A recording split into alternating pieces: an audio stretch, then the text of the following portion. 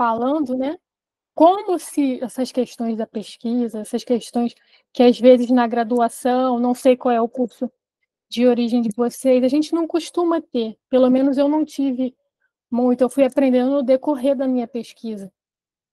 E aí a Amanda falou: olha, acho legal você falar desse passo a passo. A gente sempre conversa sobre isso, sobre essas dificuldades que a gente encontra enquanto pesquisadores, enquanto alunos.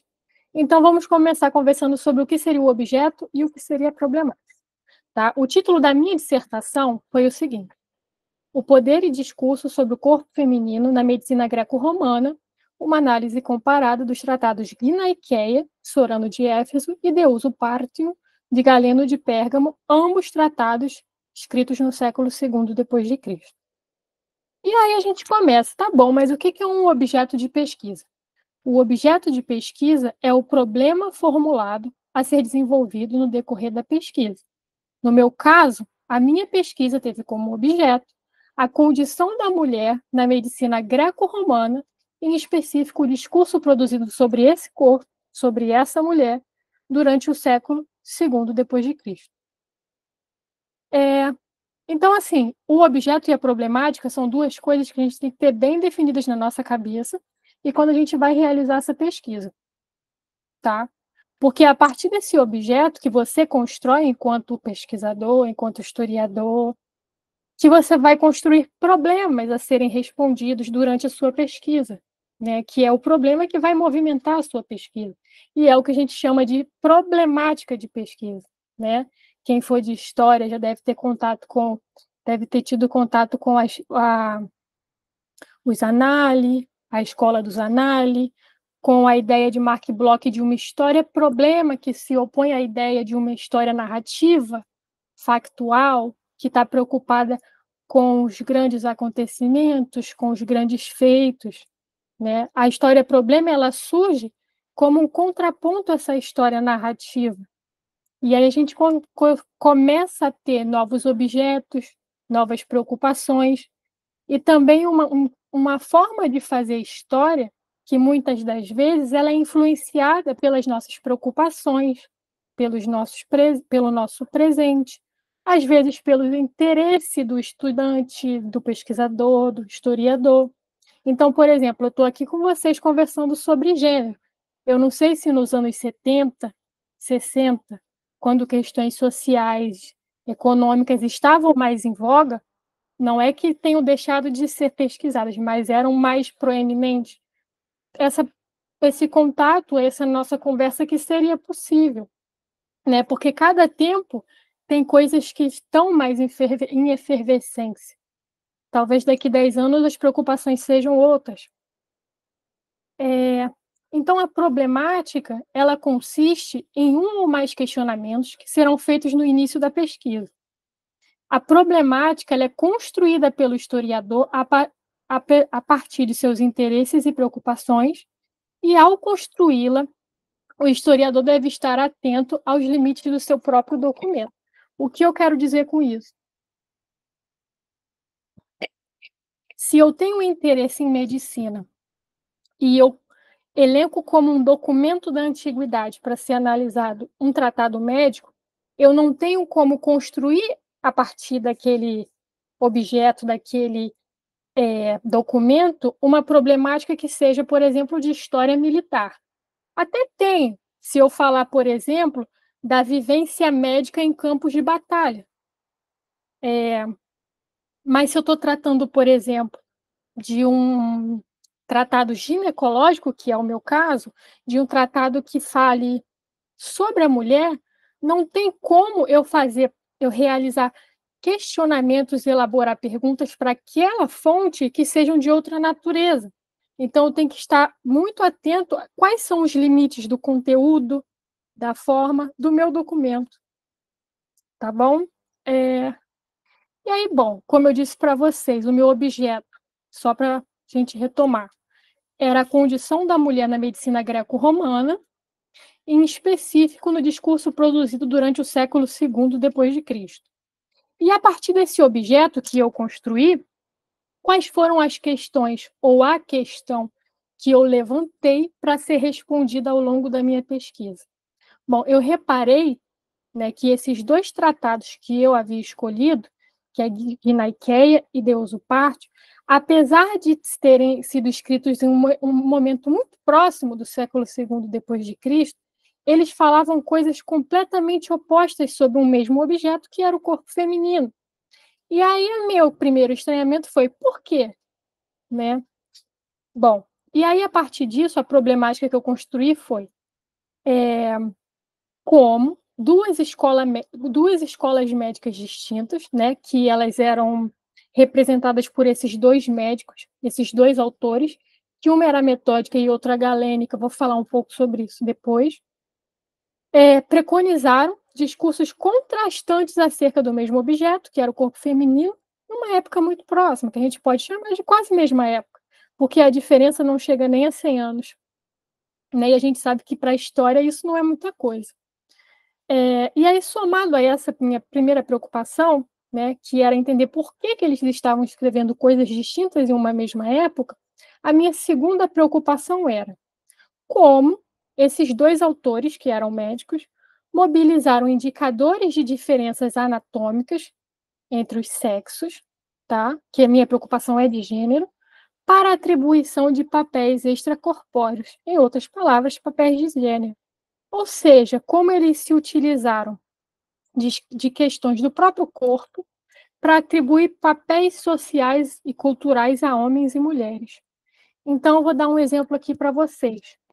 O Galeno de Pérgamo, que é um dos médicos que eu analisei, né, ele vai dizer o seguinte, que as mulheres elas tinham não apenas o hábito, mas elas eram naturalmente condicionadas a ficarem no espaço doméstico porque elas tinham pouco pelo no corpo.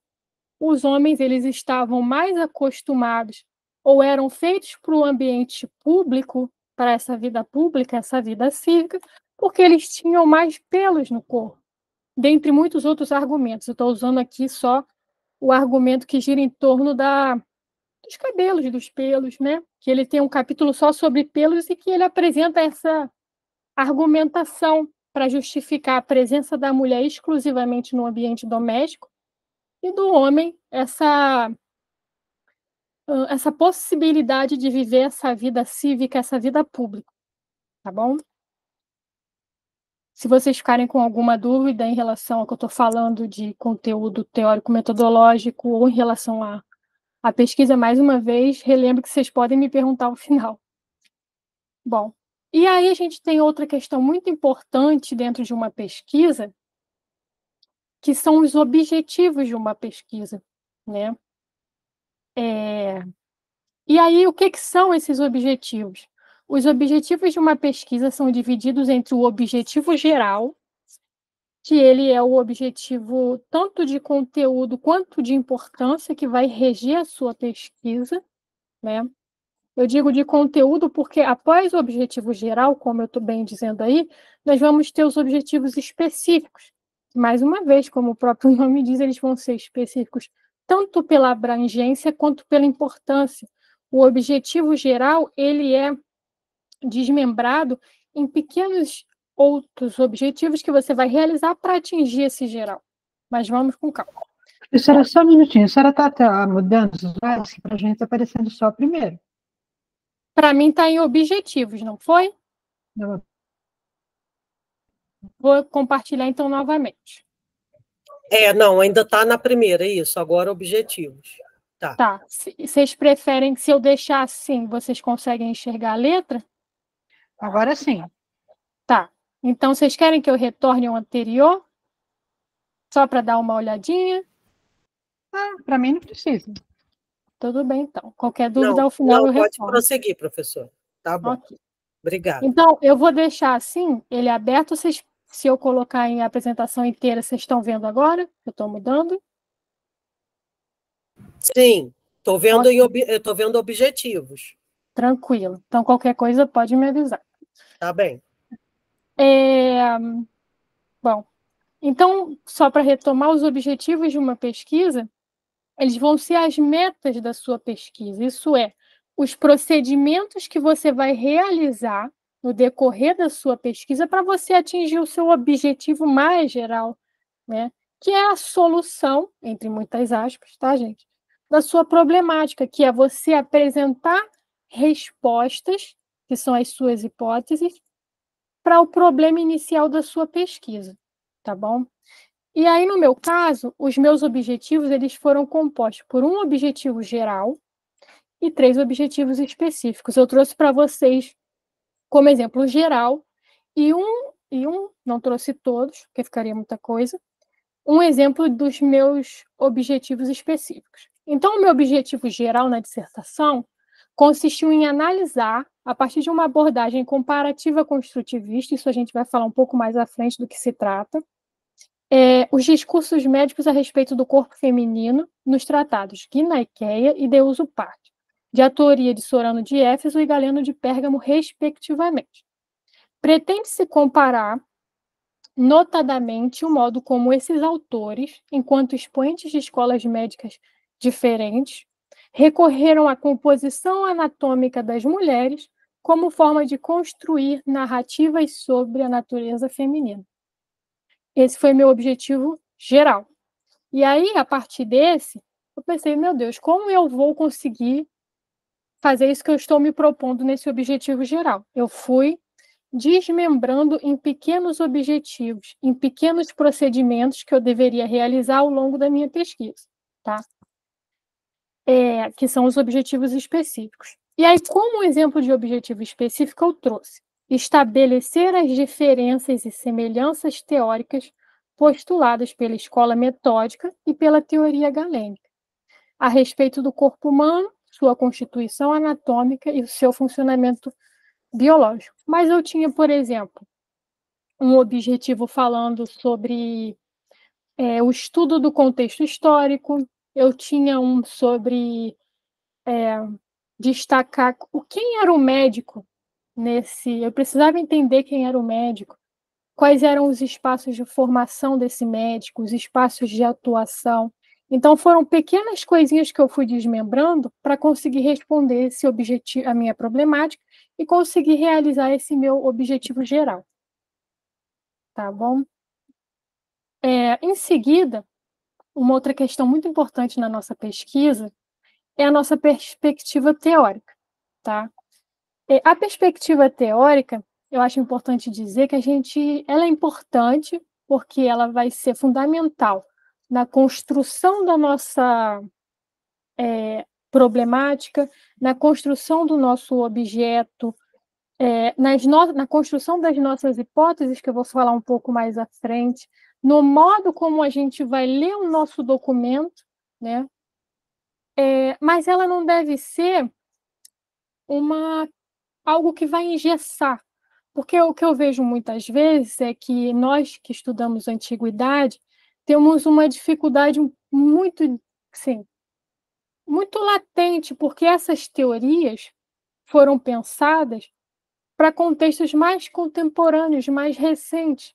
E, de repente, elas não dão conta da gente jogar para lá dois mil anos atrás e pensar fenômenos, sujeitos que eram totalmente diferentes.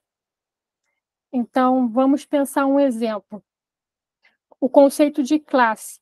O conceito de classe ele foi construído em um determinado contexto histórico para pensar determinadas preocupações de um momento. Quando eu uso esse conceito para olhar para a antiguidade, ele vai dar conta? Não sei. Então, assim, mas também se eu optar por utilizá-lo como lente para olhar esse passado, ele não deve me prender. Eu devo fazer esses ajustes de forma que ele me ajude, não que ele me atrapalhe. Né? Então, essa perspectiva histórica, ela diz respeito né, ao grupo de recursos interpretativos, teorias, conceitos, concepções que são mobilizados ao longo da pesquisa. E essa perspectiva teórica, ela também é escolhida pelo pesquisador, pelo historiador, pelo estudante, porque é o que eu comentei, né? ela vai dizer muito sobre as suas preocupações. Para eu pensar em corpo feminino, eu preciso de um arcabouço teórico de uma teoria que dê condições de pensar esse corpo, né? E é por isso que eu uso o conceito de gênero. é, a perspectiva teórica, como eu disse, ela possui a relação tanto com a construção da problemática, né, quanto a sua solução, ou seja, a construção das suas hipóteses, das suas respostas a essa problemática. Você vai se valer dessa perspectiva teórica. Ela é a lente né, através do qual o pesquisador realiza a leitura das suas fontes. Está escrito errado, realiza ela, realiza. Ele elabora questionamentos para estas fontes e propõe respostas, as hipóteses para estes questionamentos. É, a perspectiva teórica é uma orientação para os caminhos da sua reflexão. Então, por exemplo, eu posso ter um mesmo tratado médico, né, que é o caso, por exemplo, desse tratado chamado De Uso Partium, que eu vou falar um pouco mais sobre ele. Galeno, ele é o autor da antiguidade mais bem documentado. Né? Mais de 100 obras de sua autoria chegaram até nós. É muita coisa. Então, assim, eu sei que nem todo mundo que estuda Galeno tem a mesma preocupação com a minha. Por quê? Porque essas pessoas elas estão fazendo uso de outras perspectivas teóricas, eles têm outras preocupações, outros questionamentos. É, então, assim, se eu estou preocupada com a questão de gênero, eu leio esse, esse documento de uma forma. Eu procuro questões, eu procuro pontos que futuramente serão analisados de uma forma. Se eu estou preocupada com a, construção de discurso sobre a mulher, eu vou procurar ali. Falar, bom, aqui ele está dizendo que a mulher é inferior, marco. Mas eu só consegui enxergar aquilo porque eu fiz uso de uma perspectiva teórica sobre gênero. De repente, uma pessoa é, tenha contato com o mesmo tratado que eu e pense, por exemplo, sobre dieta. A pessoa vai ver, bom, é, a pessoa tem que fazer tantas refeições, comer comida tal, tomar banhos assim, fazer exercício, vai marcar, porque ela vai estar fazendo uso de uma outra perspectiva teórica, vai ter outras preocupações, então ela vai elaborar outros questionamentos para essa fonte. E, consequentemente, ela vai propor outras respostas, tá? É... E a perspectiva teórica, é importante a gente saber que não necessariamente ela precisa ser algo de dentro da história, né, da historiografia contemporânea. Ela pode ser proveniente de outros campos das ciências humanas e sociais, da antropologia, da sociologia, da filosofia, da linguística, da psicologia. Eu, por exemplo, é, faço uso de Michel Foucault, né? Michel Foucault faz parte da minha perspectiva teórica. A minha linha interpretativa, ou seja, os conceitos, a lente que eu uso para analisar meus documentos, que eu usei para construir a minha problemática e para elaborar minhas hipóteses, foram é, a linha interpretativa sobre corpo, poder e saber, de Michel Foucault, que é um filósofo, foi um filósofo francês, né, e de John Scott, que é uma historiadora, mas eu poderia usar outra. Né? Eu poderia usar o que outras pessoas estão falando sobre gênero de outras áreas.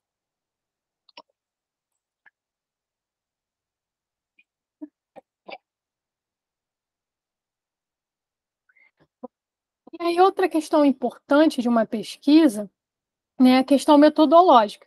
Cada campo do conhecimento tem o seu método. A física tem um método, a as ciências naturais têm outro método, é, linguística tem um método, nós da história temos muitos métodos. Né? E o que, que é o método? O método é o passo a passo de uma pesquisa. Isso é, os instrumentos, meios e atividades técnicas com as quais as fontes serão examinadas. O método é o caminho que o pesquisador irá seguir para confirmar ou refutar as suas hipóteses. Porque eu posso começar uma pesquisa já tendo uma hipótese. Bom, vamos ver assim. É, por que, que eles estavam falando coisas é, diferentes numa época tão próxima? A hipótese que eu tinha inicialmente era que eles tinham filiações médicas distintas, eram de escolas médicas distintas. Eu já comecei a minha pesquisa com essa hipótese. Felizmente, ao final, ela se confirmou, né, que esse era um dos motivos. Mas nem sempre isso acontece. A gente pode começar uma pesquisa com uma hipótese e, ao final, ver que não era bem assim. Isso é totalmente comum, normal, não tem nada de anormal nisso. Então, é, se, a, se a teoria lê a lente, que a gente vai olhar para essas fontes, o método é como a gente vai lidar com essas fontes. De que modo eu vou trabalhar com essas fontes? É, então, a escolha do método, mais uma vez, ela é feita pelo próprio pesquisador, pelo historiador, mas essa escolha ela deve se adequar à tipologia da fonte. A professora Amanda já deve ter comentado em algum momento isso com vocês. Quando a gente trabalha com cultura material, a gente deve ter um tipo de cuidado, um tipo de metodologia para analisar aquilo. Quando a gente analisa um texto literário, a gente tem que ter outras preocupações, né? outras formas de lidar com aquilo. É, então, um é, tem mais contato com a arqueologia, o outro com a linguística. É, são outras preocupações. E dentro desses tipos, né, dessa tipologia, nós também temos subdivisões. Porque, por exemplo, eu analisar um jornal é diferente de eu analisar uma carta. Porque o jornal ele tem uma circulação diferente, ele tem um propósito diferente. Quem escreve um jornal é, prepara um tipo de conteúdo, tem um tipo de receptor, um tipo de forma, um tipo de meio diferente de quem escreve uma carta. Né? Nós temos cartas publicadas que a pessoa não, não escreveu aquela carta necessariamente com a intenção de ser publicada. Né? São questões pessoais. Um jornal, não. A gente analisar uma pintura, uma fotografia, é diferente da gente analisar um filme. Então, tudo isso tem a ver com o método. Como eu devo lidar com esse tipo de fonte?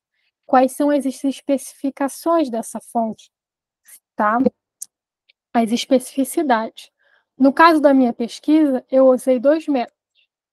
Um para analisar meu corpus documental, que foram esses dois tratados de modo mais geral, né? Como lidar, ter esse primeiro contato, fazer catálogos, né? Eu, eu mobilizei como metodologia análise de conteúdo de Laurence Bardin, que estava preocupada que é uma autora que vem da psicologia, né?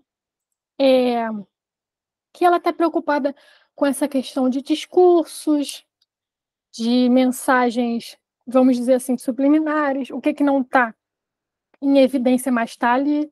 Como você consegue analisar a partir desse do próprio conteúdo, das palavras que são usadas, do tipo de expressão, tá bom?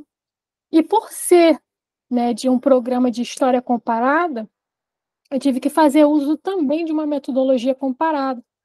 E aí a abordagem que eu utilizei, e se vocês tiverem interesse eu posso falar um pouco mais sobre isso, não pretendo me demorar porque eu não sei, mais uma vez, se é do interesse de vocês, o comparativismo construtivista de Marcel Detienne, tá? que é um antropólogo, historiador e antropólogo famoso né, na nossa área de história antiga, ele propõe num livro chamado Comparando o Incomparável, uma série de questões muito interessantes é, sobre a abordagem comparativa, e aí eu fiz uso desses dois métodos.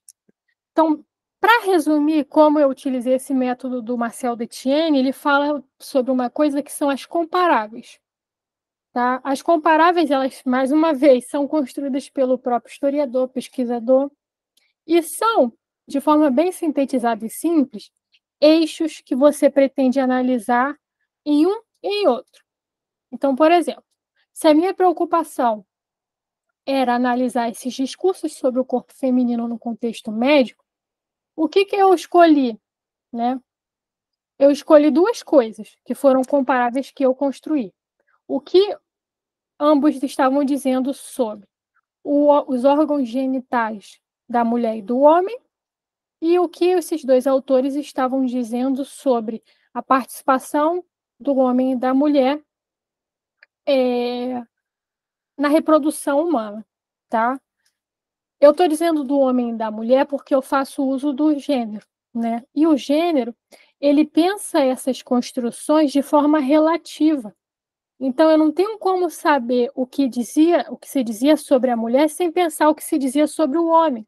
Então, mesmo que o homem não seja o meu interesse, eu tenho que saber, tá? Para fazer esse contraponto. Bom, e aí entrando propriamente na minha pesquisa, é, o corpus documental a ser analisado no decorrer desta pesquisa, né, que já foi feita, constitui-se de duas obras pertencentes ao gênero literário do Tratado Médico, ambas datadas do século II depois de Cristo. A primeira, Gnaikeia, de autoria de Sorano de Éfeso, e a segunda, Deus o Parto, de autoria de Galiano de Pérgamo. E uma coisa que é muito importante nas pesquisas, isso eu acho que para qualquer área, é a gente saber justificar nossas escolhas, tá? Porque nada é feito de forma neutra, nada é feito de neutra que eu digo ao acaso, sabe? De forma artificial, foi dado. Às vezes você lê um texto que fala uma coisa e ele já está dado, sem problema nenhum. Mas aquele texto fez uma justificativa para essa informação. Então, por exemplo, ao realizar minha pesquisa, eu tive que justificar por que eu escolhi essas duas fontes e não outras. Por que eu só escolhi duas? Por que eu escolhi somente o século II depois de Cristo? Então, assim, é muito importante a gente ter essas justificativas em mente, porque elas dão força para os nossos argumentos, tá? Bom, e aí retornando, um dos tratados que era a Guinaqueia, ele é um manual ginecológico destinado às parteiras, que na antiguidade a gente chama de obstetrix. Tá? O seu título é um termo grego que tem sentidos diversos, significando literalmente coisas de mulheres, órgãos sexuais femininos, menstruação, doenças próprias das mulheres e ainda receitas e terapias para estas doenças.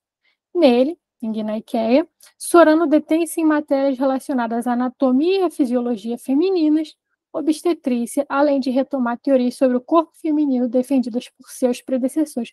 Ele fala sobre muitas coisas. Eu fiz esse recorte por conta dos meus interesses, mas ele também fala sobre o cuidado com recém-nascido, né? Como você lidar com mulheres em situação de risco, no caso de um parto. Ele fala sobre aborto, ele fala sobre amamentação, tá? Então, assim, tem um sentido um pouco diferente do que seria ginecologia e obstetrícia hoje. Mas é um texto que assim me chamou muita atenção porque ele fala sobre a mulher. Não é comum a gente ter um tratado inteiro na antiguidade que se dedique a falar sobre a mulher, sobre o corpo feminino. É, e uma das hipóteses que eu tive sobre a produção desse tratado é que as mulheres participaram porque tem informações ali que não tinham como né, serem apreendidas se uma mulher não estivesse participando, ou pelo menos se ela não tivesse sido ouvida. E eu vou dar um exemplo para vocês. É, ele chega um momento em que ele descreve como reconhecer um aborto em eminência. E ele fala de tontura, ele fala de perda de visão, né? A visão com aquela aura a visão preta, quem tem labirintite sabe o que eu estou falando, ou enxaqueca. Ele fala de peso nas ancas, peso nas pernas, dor, falta de ar. Então, assim, eu não sei de que forma esse tipo de informação poderia ter chegado a um tratado se ele não tivesse essa parte da escuta. E a escuta quem? A mulher. Isso não é comum na antiguidade, tá? Pelo menos nos, nos documentos que chegaram até nós não são comuns. É... E do outro lado, né, que foi o outro tratado que eu escolhi para comparar, a gente tem Deus o Parto, que é um tratado com uma outra proposta totalmente diferente. Não é um tratado sobre a mulher, é um tratado sobre o corpo humano. Né? Ele tem um discurso sobre o funcionamento das partes do corpo humano, mas a partir de um viés filosófico. Né? Ele não tem propriamente essa intenção de ser um manual, como é Gnaikeia. Gnaikeia está preocupado com a atuação efetivamente, tá? Mas eu vou falar um pouco mais disso à frente. É, o outro ele está preocupado em pensar filosoficamente o corpo, não que um seja melhor do que o outro. Mas como a gente havia comentado na parte de metodologia, são propostas distintas, tá? Que mudam tanto, apesar de ambos terem sido agrupados sobre essa categoria de tratado médico, a gente vai ter diferenças bem profundas em questões de conteúdo e de forma. De preocupações também, né? Porque eles escreveram com, com objetivos totalmente distintos e para públicos distintos. Isso é muito importante. Mas eu vou tratar um pouco mais à frente. Bom, e aí nesse tratado, o autor, que é Galeno de Pérgamo, que é um dos médicos da antiguidade mais famosos, né? É, eu diria que tão famoso quanto Hipócrates, que é um nome assim que faz parte até do senso comum, né? A gente tem o juramento hipocrático, a gente tem é, até mesmo os símbolos associados à medicina, né? As cobras, aquele cajado com cobras, isso tudo são questões que vêm da antiguidade. É, e nesse tratado, Deus o Parto, que é um tratado filosófico, médico-filosófico, o autor expõe de forma sistemática a estrutura, função e relação das diferentes partes do corpo humano. E é muito interessante porque ele fala do corpo, mas muitas vezes ele fala dos animais. Ele fala de todos os reinos que foram criados pela natureza até chegar ao homem, né? Porque a pretensão dele é demonstrar que o homem é a criação mais perfeita da natureza, né? E que dentro dessa criação que é muito perfeita, né? Ele compara os homens com as amebas, com as plantas, com os macacos, com elefantes, com tudo que vocês possam imaginar. E aí uma das conclusões que ele chega é que dentro dessa criação mais perfeita da natureza, que é o gênero humano, existe uma diferenciação, porque dentro do gênero humano, é claro que o homem é mais perfeito que a mulher. Tá? Para ele, a mulher é um homem imperfeito mas a gente vai falar disso um pouco mais à frente. E aí ele desenvolve um modelo de identidade estrutural dos órgãos reprodutivos, demonstrando que as mulheres eram essencialmente homens, nas quais a falta de calor vital e de perfeição resultava na retenção interna das estruturas que nos homens eram visíveis na parte externa. Bom,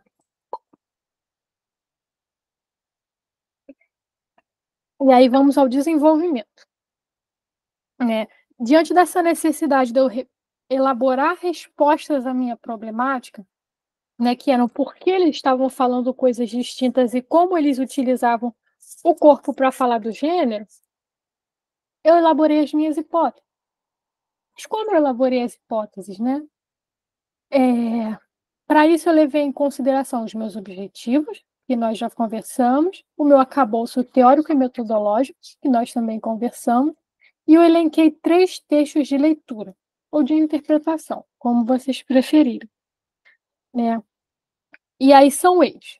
O primeiro, de que eles poderiam estar falando coisas distintas sobre o corpo humano, porque eles tinham público-alvos distintos, né? E aí, sobre isso, a minha hipótese, que eu vou apresentar também, mas é que o contexto de recepção, ou seja, o contexto em que esses documentos chegam ao seu público e têm uma circulação, eles são distintos, né? Ou seja, para pensar isso, eu preciso pensar quem é que estava lendo, quem é que estava fazendo uso desses tratados. Eu acho que isso é muito importante para nossas pesquisas, né? A gente pensar nessa recepção, na no que a leitura desses tratados poderiam ter suscitado nessas pessoas. Quem eram essas pessoas, né? Qual era o recorte, o interesse intelectual que elas teriam ao ler, ao ouvir, ao ter contato com esses tratados? Qual era o recorte social? Isso muda muito de um para o outro. Qual era o gênero? Eram homens? Eram mulheres? É, porque para mim essa recepção ela foi assim influenciou diretamente no modo como eles trataram essa temática médica e de forma mais incisiva como eles descreveram o corpo das mulheres.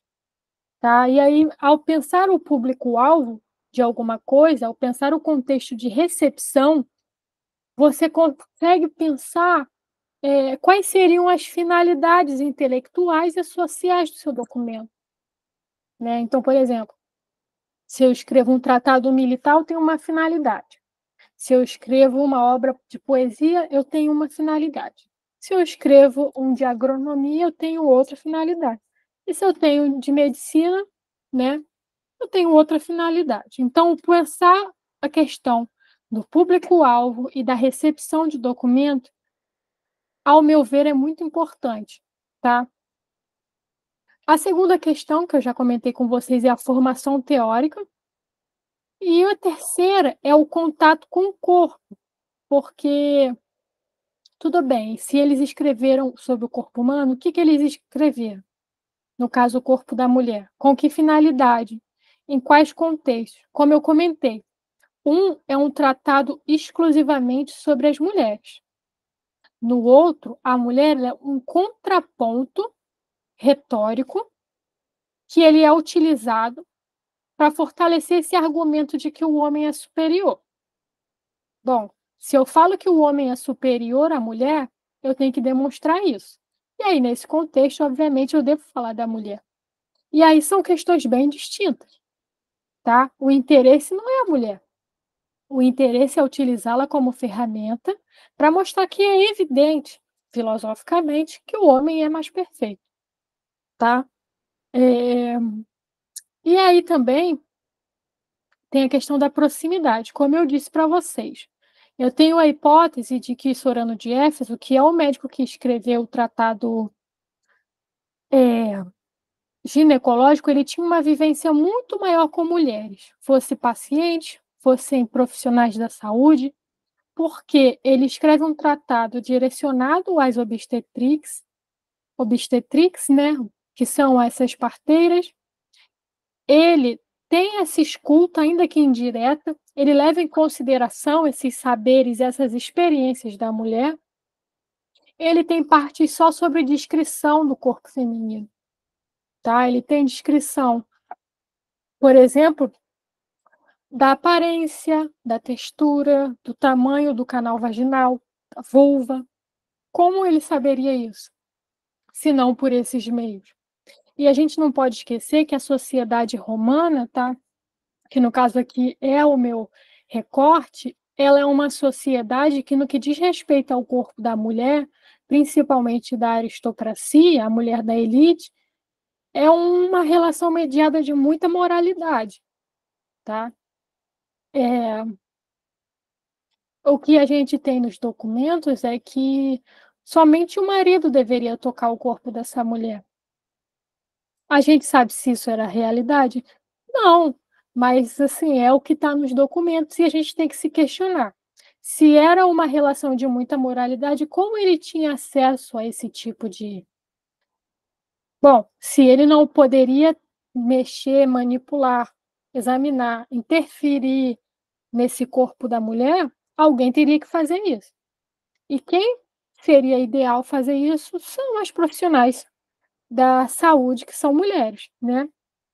Existe até uma discussão é, sobre esse tipo de atuação né, dessas mulheres na medicina, se elas atuariam somente entre com pacientes mulheres, só, se elas atenderiam homens também, tá?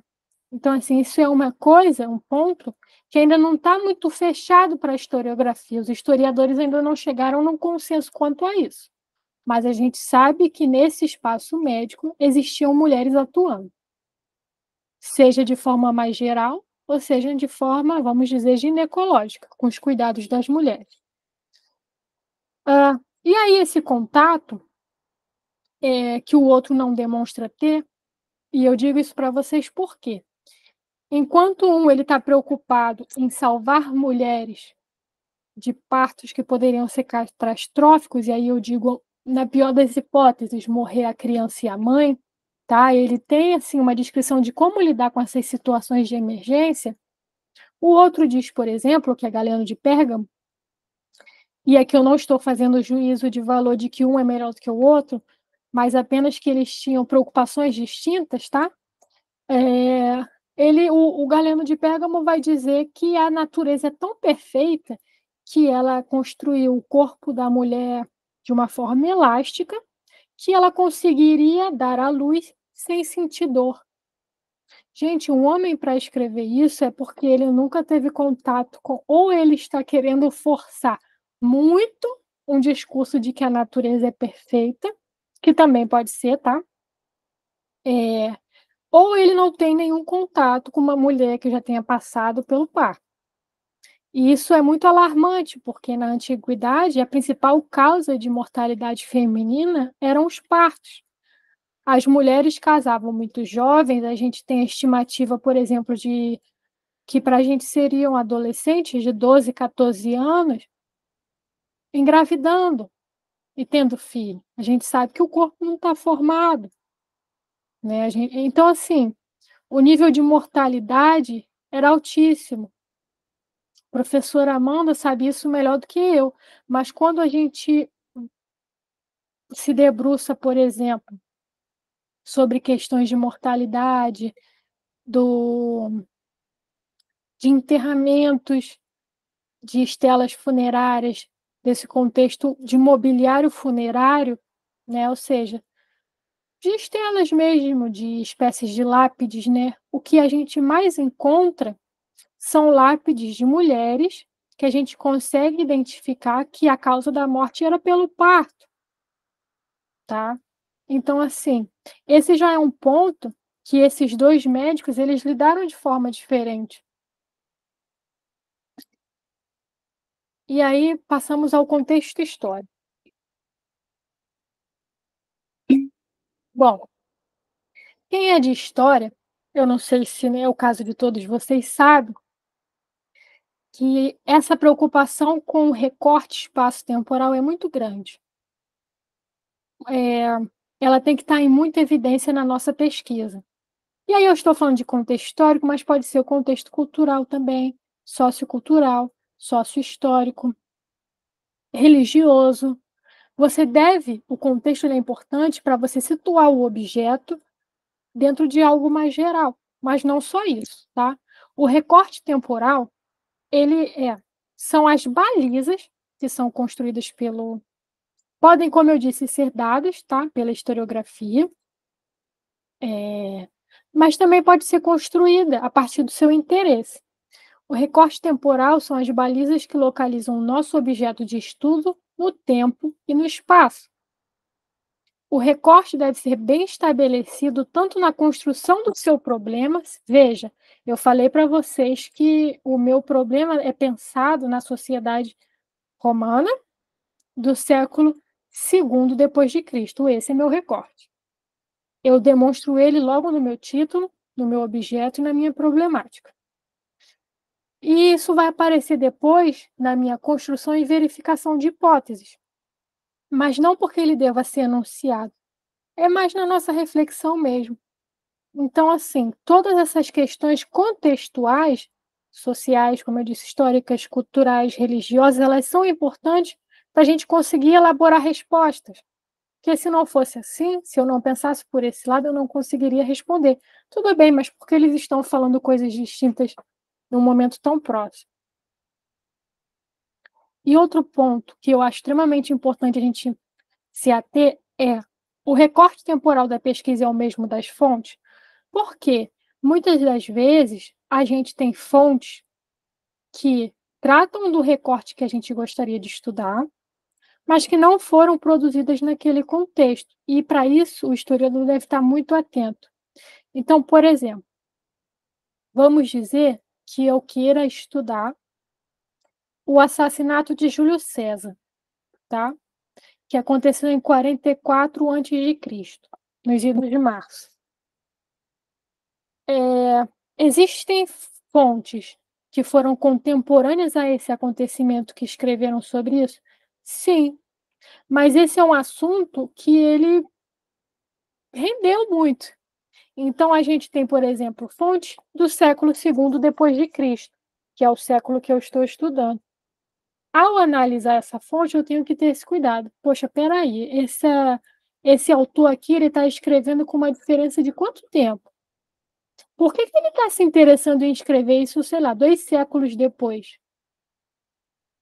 Qual foi, é, quais foram as fontes que mediaram o acesso de uma pessoa dois séculos depois a esse tipo de informação?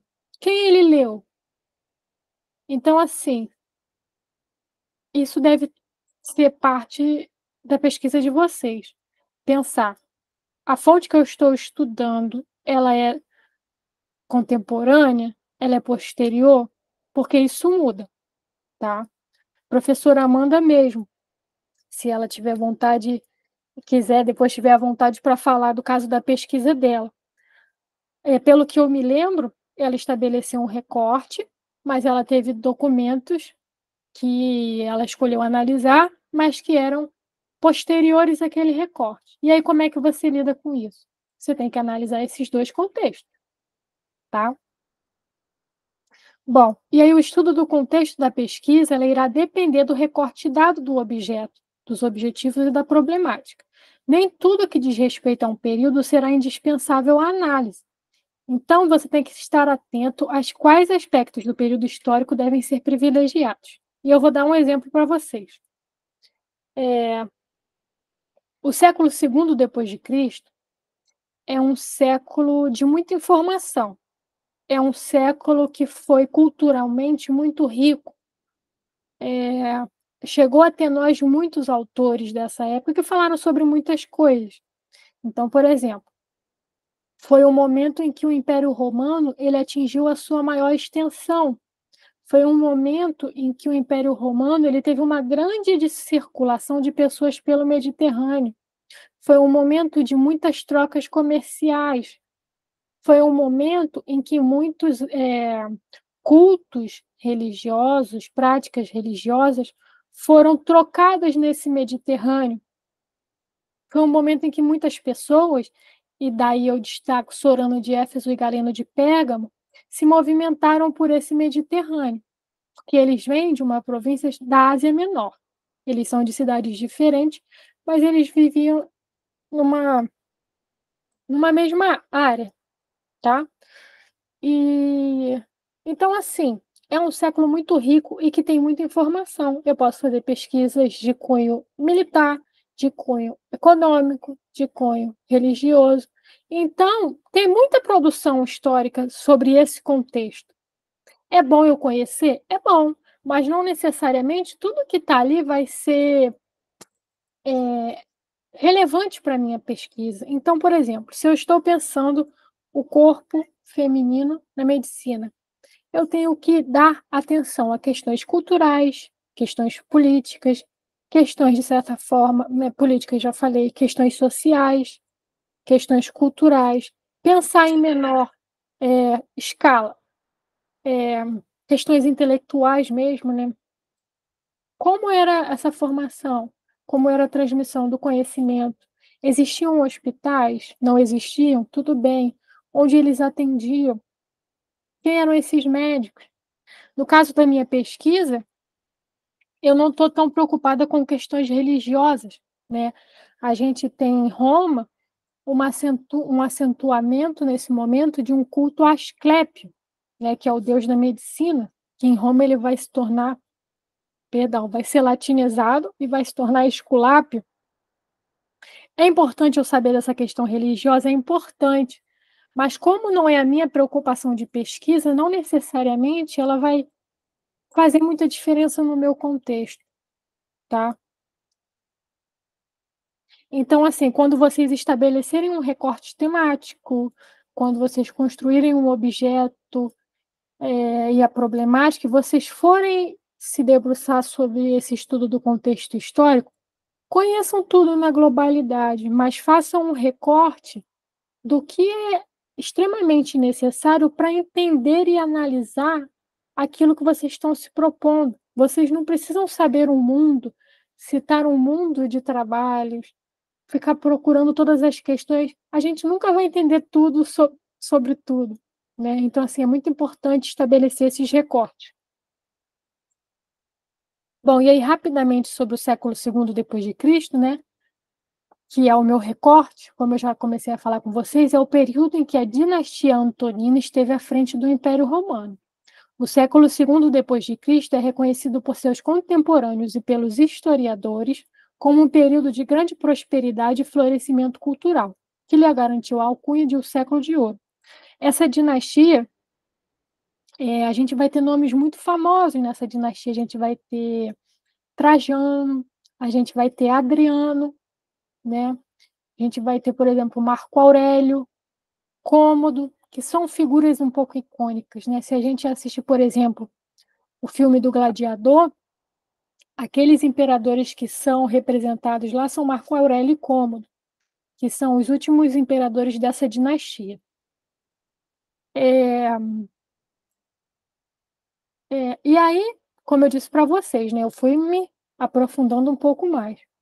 Eu penso, né, faço um olhar mais panorâmico sobre esse contexto, mas eu pretendo me especificar. O que, que é importante aqui para eu entender meu objeto, minha problemática.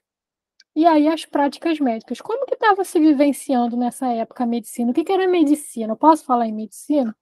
Então, bom, de forma sintetizada, as práticas e os saberes terapêuticos e as experiências de cura estavam presentes em Roma desde o momento da sua fundação. No entanto, partimos do princípio de que o século II depois de Cristo, nomeadamente o Principado dos Antoninos, figura como uma das épocas mais relevantes da história do Mediterrâneo antigo para estudar cultura médica. E aí é o que eu comentei com vocês, que é muito importante que a gente saiba é, justificar as nossas escolhas. Então tá aí para vocês o porquê de eu ter escolhido o século II depois de Cristo para analisar o discurso médico. Porque eu considero, e aí por, pelos motivos que eu vou elencar, como uma das épocas mais importantes do Mediterrâneo antigo para estudar essa questão. Tá? E por quê? Porque nessa época houve um interesse técnico e filosófico por essa área, medicina, que culminou com o aparecimento de muitos autores e médicos consagrados e com o acentuamento do culto ao deus Asclepio, da medicina. A esses fatores acrescentamos alguns elementos circunstanciais, como as políticas expansionistas de Trajano, que levaram um intenso contato entre Oriente, Pérsia, Mesopotâmia e Índia, criaram um espaço de intercâmbio cultural. Outros dois aspectos que impulsionaram o desenvolvimento nessa época vinculam-se à postura de valorização da cultura por, helenística por Adriano tá? que permitiu a transposição e a solidificação de saberes, dentre eles a tradição médica grega, e também as relevâncias, a relevância dos desdobramentos da peste antonina, que é um evento muito marcante dessa época, tá? que foi uma peste que devastou Roma de 166 a 192. Né? E esses desdobramentos eles evidenciaram a importância social e, sobretudo, sanitária da atuação médica. O próprio Galeno, né, que é um dos médicos que eu escolhi para analisar, ele vivenciou essa peste, porque essa peste, se eu não me engano, foi na época de Marco Aurélio e como Galeno ele foi convidado para lidar com essa situação. Ele foi convocado a Roma para lidar com essa situação. Então, assim, ele faz, a gente tem acesso às descrições que ele faz da, dessa situação, e assim, é desesperadora. A gente sabe que os documentos do, da antiguidade em questão de números é muito difícil a gente precisar, porque às vezes tinham duas pessoas, eles colocam que tinham 500. Mas ainda assim, ele trata dos, dos sintomas, a quantidade de gente que estava morrendo, como era difícil. E essa peste, ela foi voltando em ondas, não foi algo que foi curado em determinado momento. Então, isso também teve uma importância muito grande para a gente entender o que, que era a vivência médica nessa época, tá? Se vocês tiverem interesse sobre isso, depois vocês podem me mandar um e-mail que eu passo as referências para vocês. Bom, e aí a trajetória de Sorano e Galeno. É, ambos os médicos, como eu comentei com vocês, eles não eram originários de Roma, eles vieram da Ásia Menor, de cidades distintas. Um veio de Éfeso e outra de Pérgamo, que são cidades ainda hoje, mais Éfeso, né, conhecidas pela sua é, atividade intelectual. Se vocês jogarem aí no Google, liber, é, eu ia falar livraria, mas Biblioteca de Éfeso ou Biblioteca de, de Celso, vocês vão ver como é linda. É um dos demonstrativos que sobreviveram até os dias de hoje na cidade de Éfeso é, dessa atividade intelectual, né, da cidade de onde Sorano é proveniente. Em Pérgamo, que é a cidade de Galeno, a gente tinha inclusive templos erigidos ao deus da medicina, que é Asclépio. É, o culto a Asclépio na cidade de Galeno era muito forte, tá? É... E bom, destacamos que embora Sorano de Éfeso e Galeno de Pérgamo estivessem distanciados no tempo por alguns anos, como eu mencionei, menos de 100, os autores estavam inseridos em um mesmo século, que era marcado por sua efervescência cultural e intelectual. A isso acrescentamos que as trajetórias de Sorano e de Galeno são aproximadas, pois, embora existam poucas informações a respeito do primeiro, sabemos que ambos eram originários da província da Ásia Menor. Como eu comentei no início da minha fala, Galeno é um dos autores mais, mais bem documentados da antiguidade. Sorano, por outro lado, a gente tem pouquíssimas informações sobre a vida dele. Tá? A gente sabe que Galeno, por exemplo, vinha de uma família abastada. O pai dele era arquiteto, era uma pessoa que tinha contatos em Roma. Então, assim, ele era uma pessoa com uma vivência distinta, tá? Ele era uma pessoa que inicialmente estava se preparando para ser filósofo. É, não que nessa época existissem essas divisões completamente apartadas do que é filosofia, o que é medicina, mas os interesses dele eram outros. Né? Porque o médico é marcado por essa prática médica, né? de você lidar com o corpo do outro, você recuperar a saúde do outro. Então é um interesse muito particular. E o pai dele teve um sonho, uma revelação né, de Asclépia, que dizia que o filho dele devia ser médico, porque nessa época uma das formas de manifestação de escolha desses que dariam continuidade a essa arte médica de Asclépio era essa revelação por sonho. A partir daí a vida de Galeno muda completamente, ele passa a se dedicar à medicina e ele vai para Roma, né? Como eu comentei com vocês, ele vai para Roma em diversos momentos, incluindo na época da peste. É, Sorano a gente não tem muito, mas o que a gente sabe é que ambos tiveram um período de formação em Alexandria. Alexandria, nesse momento, é um centro intelectual muito, muito importante. Se vocês tiverem interesse sobre esse assunto, sobre Alexandria, eu indico fortemente os trabalhos da professora Joana Clímaco. Ela fala sobre esse cenário cultural, intelectual que era Alexandria que ambos vivenciaram. Em Alexandria, por exemplo, a gente vai ter séculos antes de Sorano e de Galeno, as primeiras, as primeiras e últimas, pelo menos documentadas, experiências de abertura de corpos para fins científicos, vamos dizer assim, né? Que eram a, esqueci o termo agora, mas, ah, sim, a dissecação de corpos. A gente tem a descrição dessas, dessas dissecações, né, que foram feitas por dois médicos do século III antes de Cristo, que são Herófilo e Eresístrato, que eles fizeram dissecações e a gente tem acesso às descrições. Eles dissecaram, inclusive, corpos femininos, e aí eles fazem a descrição do útero tudo mais. E, curiosamente, esses, para vocês verem, a gente pensar essa questão de transmissão né, dos saberes na antiguidade, esses relatos chegam até Sorano e Galeno. Sorano menciona a todo momento esses relatos de, de dissecação de corpos, e ele também fala em vivisecação, que é um ponto assim não tão esclarecido pela historiografia, mas que a princípio seria, por exemplo, a abertura de corpos de pessoas condenadas à morte, mas que tudo isso foi feito em Alexandria, para vocês terem noção de como era a essa época um centro assim mesmo de concentração de atividade intelectual totalmente diferente. É, mas também o que a historiografia aponta é que esse período que eu comentei com vocês, desses outros dois médicos, foi o primeiro e último relato que a gente tem de dissecação no mundo antigo, porque depois gente, isso começa a ser um tabu. Uh, bom, e é isso. Então, eles, a gente tem pontos de aproximação. Eles vieram da Ásia Menor, tiveram a formação em Alexandria e depois passaram a atuar em Roma, mas eles atuaram em Roma em épocas distintas. Sorano, ele foi antecessor de Galeno, ele viveu em Roma antes.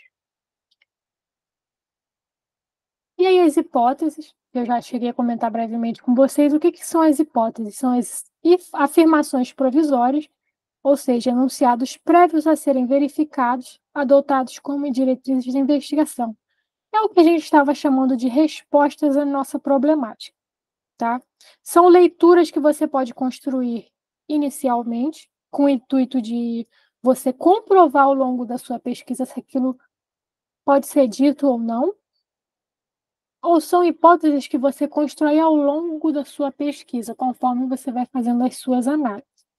Tá? Então, rapidamente, né, eu tentei sintetizar aqui, as minhas hipóteses são as seguintes. Foram as seguintes. A minha hipótese central é que Sorano de Éfeso e Galeno de Pérgamo pensariam um corpo feminino a partir de uma ênfase temática similar, que são os órgãos reprodutivos, mas que, apesar disso, os autores defenderiam proposições teóricas distintas acerca da articulação entre a formação anatômica feminina, a capacidade biológica de gestar e o papel da mulher na sociedade romana.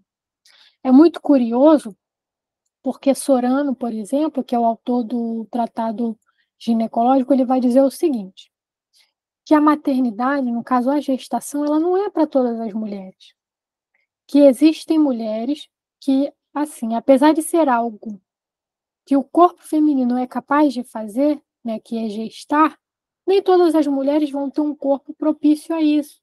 E ele aponta, inclusive, que apesar de serem algo, tanto a gestação quanto um parto, apesar de ser estados né, é, e capacidades inerentes ao corpo da mulher, ao corpo entendido como feminino, é, isso não fazia bem para a saúde da mulher, ele reconhece isso. E isso é muito importante da gente ter essa argumentação, essa pontuação, porque a gente está falando de uma sociedade em que a procriação ela é muito importante, principalmente da elite, tá? Porque a procriação ela tem a ver com continuidade de linhagem e com a questão patrimonial, então, assim, era muito importante que, principalmente a elite, não digo nem das pessoas, vamos dizer assim, pobres, que a mulher conseguisse dar o máximo de filhos possível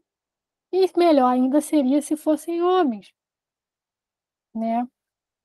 Não podemos esquecer que é uma sociedade patriarcal, de linhagem patriarcal, tá bom? E a partir disso, as minhas hipóteses específicas são que a construção, circulação e prática dos saberes médicos fossem letrados ou técnicos, seriam esferas plurais e heterogêneas, compostas por inúmeras disputas de saber e poder. Não existia somente uma forma de vivenciar essa medicina. A gente teria, por exemplo, o conhecimento das ervas, o conhecimento dos astros, o conhecimento religioso, o conhecimento mais técnico, o conhecimento mais filosófico. E não é o meu papel, enquanto historiadora, dizer qual é mais eficaz. O meu papel é aceitar que é uma esfera plural e entender quais são as diferenças. Né? É, porque isso também, se a gente parar para pensar, tem um recorte social. O pobre, vamos dizer assim, vivenciaria a medicina, as práticas de cura, as práticas terapêuticas de uma forma. O rico, uma pessoa abastada da elite, vivenciaria de modo totalmente diferente se a gente fizer uma comparação bem, bem, bem básica, o que a gente pode dizer é que com o rico existia todo um cuidado preventivo de banhos, de alimentação, de rotina de exercício. Enquanto uma pessoa que não teria condição, não teria acesso a determinados alimentos, é, seria exposta a trabalhos braçais muito puxados, teria uma rotina de sono muito ruim, tá? A gente vê uma realidade totalmente diferente. Então, assim, ter atenção a essas nuances é bem importante. Então, esses segmentos da população, eles tinham acesso a medicinas e a médicos distintos, né? E Sorano e Galeno, eles são representantes dessas vertentes diferentes, não só de forma teórica, mas também social. Como vocês vão ver mais adiante, Sorano está escrevendo para as obstetrix. Quem são essas mulheres? Galeno está escrevendo para uma elite. É... E aí, à vista desse recorte, né, a partir do momento que a gente reconhece essas diferentes e plurais vivências, a gente entende como esse recorte, essa aceitação, essa recepção do público, ela influencia, que é algo que eu já tinha comentado com vocês, como isso influencia tanto na forma quanto no conteúdo. Né? Então, eles teriam produzido tratados com propósitos distintos e para segmentos sociais diferenciados. Assim, haveria uma relação entre o público-alvo almejado o modo como o assunto médico era tratado e as discurs estratégias discursivas empregadas.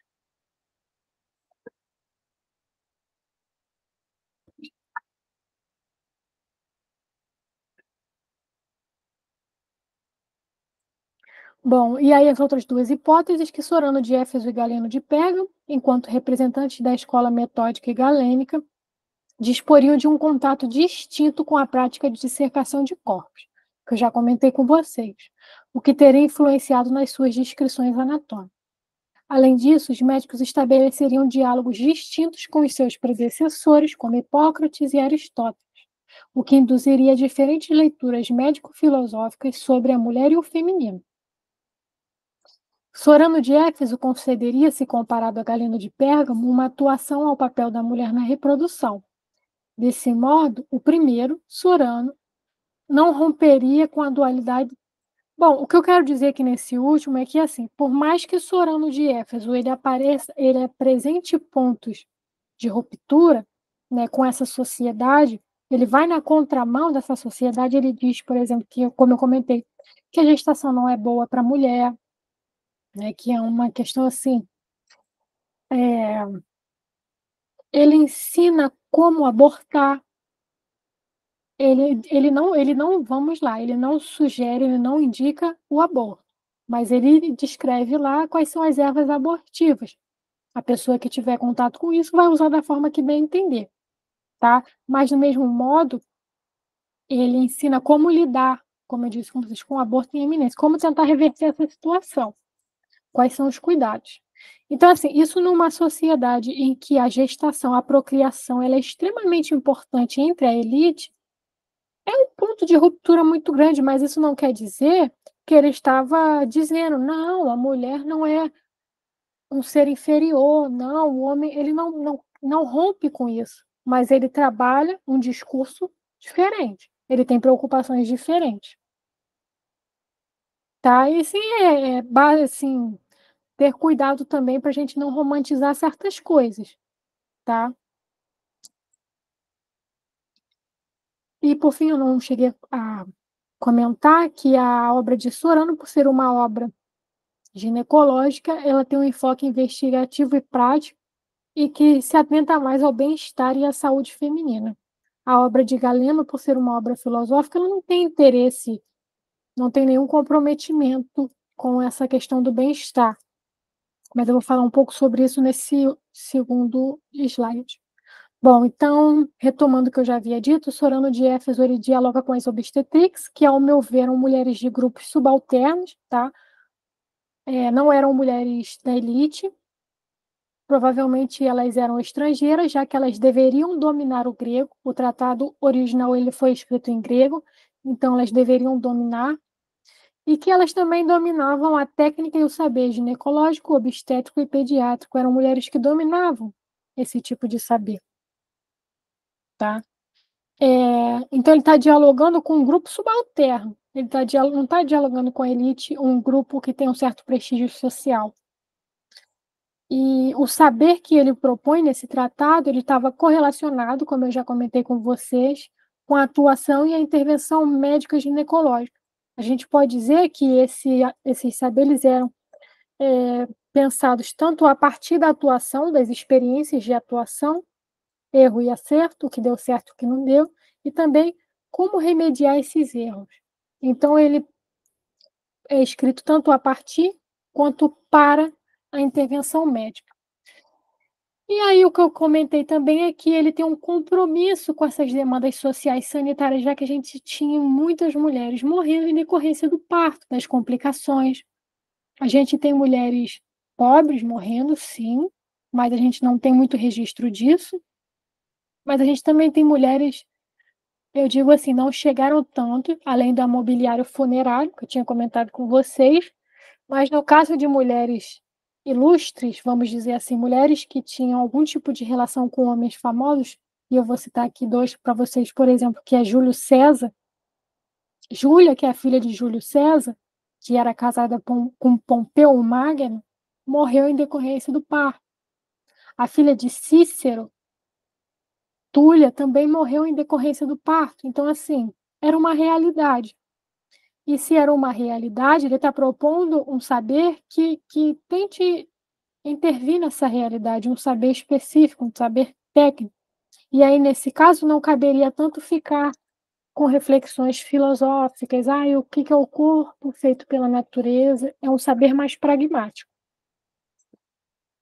O segundo, né, que é Galeno de Pérgamo, como ele dialogava com essa elite, a medicina ela era apenas uma forma de deleite, ela era uma das disciplinas, e aí eu coloco entre aspas, que o cidadão romano deveria dominar, assim como o direito, assim como a astronomia, assim como a filosofia, assim como a literatura e muitos outros, que se estudava por interesse próprio, para ter né, esse domínio mais da conversa, do, da oralidade, do diálogo, não tem essa questão de necessidade de se atuar enquanto médico.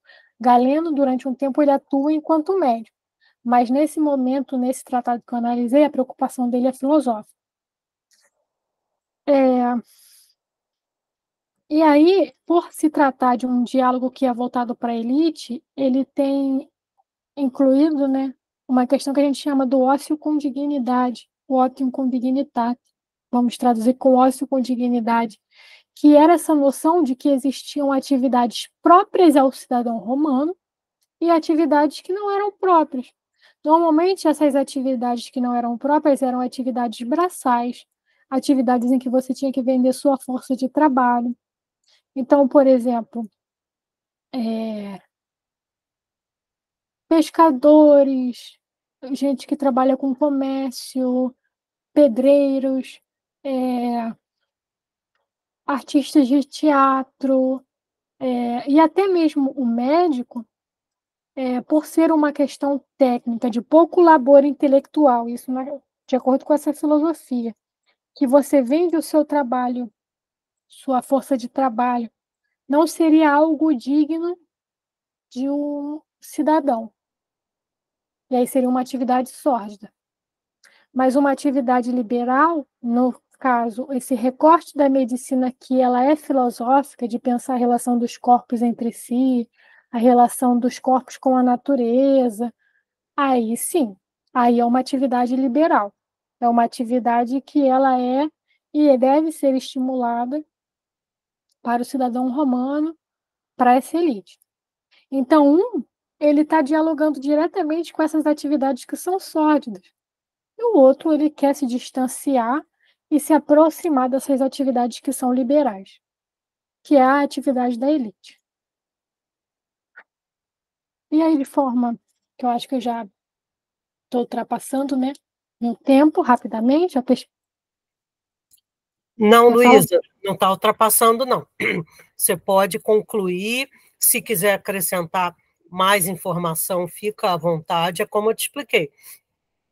Hoje nós temos até 18 horas, mas você pode concluir antes, você pode, se quiser agora já fazer um fechamento, ou é, falar mais um pouco da tua pesquisa do doutorado, e depois a gente abre para pergunta, aí você que escolhe, fica à vontade. Tá bom. Mas eu já estou quase terminando. Então tá bom. Aí eu posso tá falar um pouco da minha, da minha pesquisa. Tá bem. É, e aí, para fechar, né, para não ficar. Não vou me demorar muito nessa questão, porque eu acho que são muitos detalhes. Se alguém tiver interesse depois, eu posso falar mais um pouco. Sorano de Éfeso estava atrelado a uma escola chamada Escola Metódica, que é uma escola que, assim como ele, né, demonstra essa preocupação com a atividade mais técnica, com esse não tanto com a teoria, não quer dizer que não existisse teoria, eles pensavam uma teoria, tá? Tanto é que eles pensavam numa forma de identificação das doenças, numa forma de cura. Só que eles eram mais objetivos, mais pragmáticos. Eles estabeleceram que o funcionamento do corpo ele era ligado a duas questões. Ao que eram os tecidos, tá? O corpo humano ele era, seria formado por um mesmo tipo de tecido que estariam ou muito contraídos ou muito relaxados. Nessa filosofia, né, nesse tipo de pensamento da escola metódica, então, a saúde seria o equilíbrio entre o relaxado e o contraído. Não poderia ser nem muito de um nem muito do outro. E aí as doenças, a saúde era explicada a partir desse, dessa questão. É, e aí, por mais que eles tivessem essa abordagem mais técnica, mais pragmática, Sorano de Éfeso ele começa o seu tratado dizendo né, que a primeira parte do tratado é direcionado a dizer quem seria uma boa obstetrix, uma boa parteira, né, o que, que deve ter, qual é a formação, qual é a preparação, como deve atuar. Ele diz que, a, dentre muitas outras coisas, que a obstetrix ela deve ter uma boa memória e que ela deve ter o conhecimento tanto da técnica quanto da teoria, tá? É... E aí, mais uma vez, eu já comentei com vocês que Sorano de Éfeso ele possuía maior contato com o corpo feminino, estava em constante diálogo com essas mulheres e que essas mulheres faziam parte dessa sistematização do saber ginecológico, dessa vivência médica. E, por outro lado, a teoria de Galeno de Pérgamo por sua vez, mais filosófica, ela é marcada pela recepção de autores como Aristóteles, né, que é de onde vem essa questão de que a mulher é um homem imperfeito. Ele faz uma recepção desses autores e de Hipócrates, né? E ele faz a noção de uso de noções, perdão, como a presença do calor vital e a teoria dos humores. Na teoria hipocrática, o, o corpo é formado por quatro humores. E Nesse sentido, é, a saúde estaria ligada a essa presença de humores, né, que são, vamos dizer, mais líquidos, entre muitas aspas. É, essa teoria humoral ele recupera de Hipócrates. E essa questão da presença de calor vital é muito importante, porque quanto mais um corpo for quente, e aí assim, se vocês pegarem Aristóteles o corpo hipocrático, essa é uma informação que vai estar presente em todos eles, de que o homem é quente e que a mulher é fria. E nessa perspectiva, a presença desse calor é essencial, porque quanto mais quente um corpo for, mais perfeito ele é. Então, o que distanciaria o homem da mulher não seriam como duas espécies distintas, o homem e a mulher. A mulher é um homem, que ela seria imperfeita, porque ela é fria, né? O calor vital nela é baixo. E aí o que que esse calor ele essa falta, essa ausência, né, essa pouca quantidade de calor ela ocasiona a retenção dos órgãos que nos homens seriam externos, na mulher eles são internos. E isso já é o suficiente, segundo eles, para colocar a mulher como imperfeita, como um desvio, como um homem mutilado, tá? Em Sorano de Éfeso, a gente tem um ponto, um contraponto que ele diz o seguinte: ele não faz essa leitura e ele diz que a mulher ela possui um órgão que o homem não possui, porque para Galeno a mulher possuiria os mesmos órgãos, só que de forma interna, perdão. Possuiria os mesmos órgãos e estruturas. Lógico, como existe essa função, essa distinção de calor, eles funcionariam de formas diferentes, tá? Do, da, do, do corpo dos homens. Mas o que Sorano vai dizer é que a mulher ela não tem os mesmos órgãos do que os homens. Na realidade, ela tem um órgão, que é o útero, que o homem não tem. Para Galeno, o útero seria o prepúcio, né, a pele do homem, que ela teria sido internalizada, e aí ela faz essa forma de vaso. Né? Os, os o Sorano, para Galeno, perdão, e para Sorano, esse órgão seria específico do sexo feminino. Os homens não teriam. Então, os homens não teriam o útero e também não teriam a experiência que o, útero propõe, como a menstruação. Os homens não seriam capazes de gestar, que é uma diferença bem significativa. Tá? É, e aí, por fim, eu já comentei com vocês também, Galeno tinha como base da sua teorização os experimentos anatômicos feitos em animais, porque muitos desses tratados dele que foram escritos posteriormente, né, na posteridade, porque também tem isso, na antiguidade, nem tudo que é escrito foi escrito naquele momento. Deixa eu me explicar. Muitas das vezes a gente tinha uma declamação pública e aí depois aquele texto, ele era aquela fala era transformada em texto. No caso de Galeno, a gente tem muito disso. A gente vê até marcas da sua fala nos escritos, né? Quando ele chama, por exemplo, prestem atenção, e muitas dessas falas eram feitas diante de experimentos anatômicos. Então, por exemplo, ele dissecava um macaco e ia falando: olha, isso aqui é o pulmão, isso aqui é o coração, isso aqui é o rim, e iria mostrando. E aí, depois dessas experiências, é, que eram transcritos em formas de tratados, tá? Isso também muda, porque se não foi escrito ali, a pessoa pode mudar, né? A partir dos erros, o que que deu certo, o que que não deu. É, isso é importante para a gente entender que aquele discurso ele tem um peso do convencimento, que você tem que convencer a sua audiência daquilo que você está falando, tá? Que também é um distintivo da, da obra de Galeno.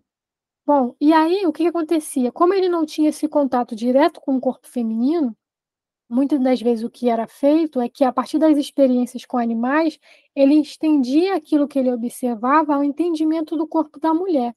Então, por exemplo, tem estruturas que ele observou em cabras.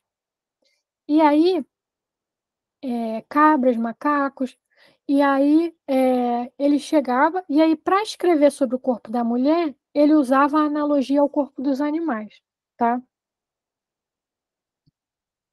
Bom, e aí, para finalizar, em decorrência do tempo, eu não trouxe muitos excertos da documentação para ler com vocês, porque eu acho que ficaria algo muito cansativo e muito extenso. Então, eu trouxe somente dois trechos, um de uma obra de um de Galeno e outro de Soran. No caso, o recorte que eu fiz foi sobre a participação da mulher na reprodução, humana, na reprodução humana, mas aí é bem pouquinho. E aí eu vamos ler rapidamente esse e depois um de, de Galeno e aí eu encerro e a gente abre para perguntas, tá bom? É, a concepção, e essa aqui é de Sorano, e aí é o seguinte: a concepção foi nomeada dessa forma por ser a retenção da semente, que é chamada quieses, por ser uma queutese. A gente ignora esses termos porque eu não vou fazer análise deles aqui. Ou seja, uma ocultação. Pois queutene significa ocultar, e o que é concebido no útero é ocultado. Mas quanto à conotação, a concepção é a retenção prolongada da semente ou do embrião ou embriões no útero por uma causa natural. Retenção, porque a concepção uma detenção e prolongada, porque às vezes a semente é retida não temporariamente e é imediatamente expelida de novo. E isso não é concepção. Na semente ou no embrião, porque Durante o primeiro período, quando a descendência ainda não está formada, ele faz uma diferenciação entre embrião e semente, tá? Então, não é essa questão de que entrou no útero já é um embrião. Não, ele faz uma diferenciação. É, isso vai incidir também na leitura que ele vai fazer sobre a questão do aborto, porque só existe aborto quando já se fala de embrião, tá bom? E durante o primeiro período, quando a descendência ainda não está formada, é a concepção da semente. Mas depois do primeiro período, quando o feto já está formado, é, a concepção deixa ser, embora não seja uma gravidez com semente, mas com o embrião. Por que eu trouxe esse ponto? Para falar de alguns, a partir dele eu vou puxar algumas questões. É, o Sorano Jeffers ele vai dizer o seguinte, que o homem ele só é responsável por ejetar essa semente. É, isso é muito importante porque existia um debate nessa época de, se, de que era o seguinte: a mulher ela teria participação efetiva na reprodução ou não? Para alguns, não. Para alguns, a mulher seria apenas um receptáculo, como vai ser o caso de Galeno que vocês vão ver.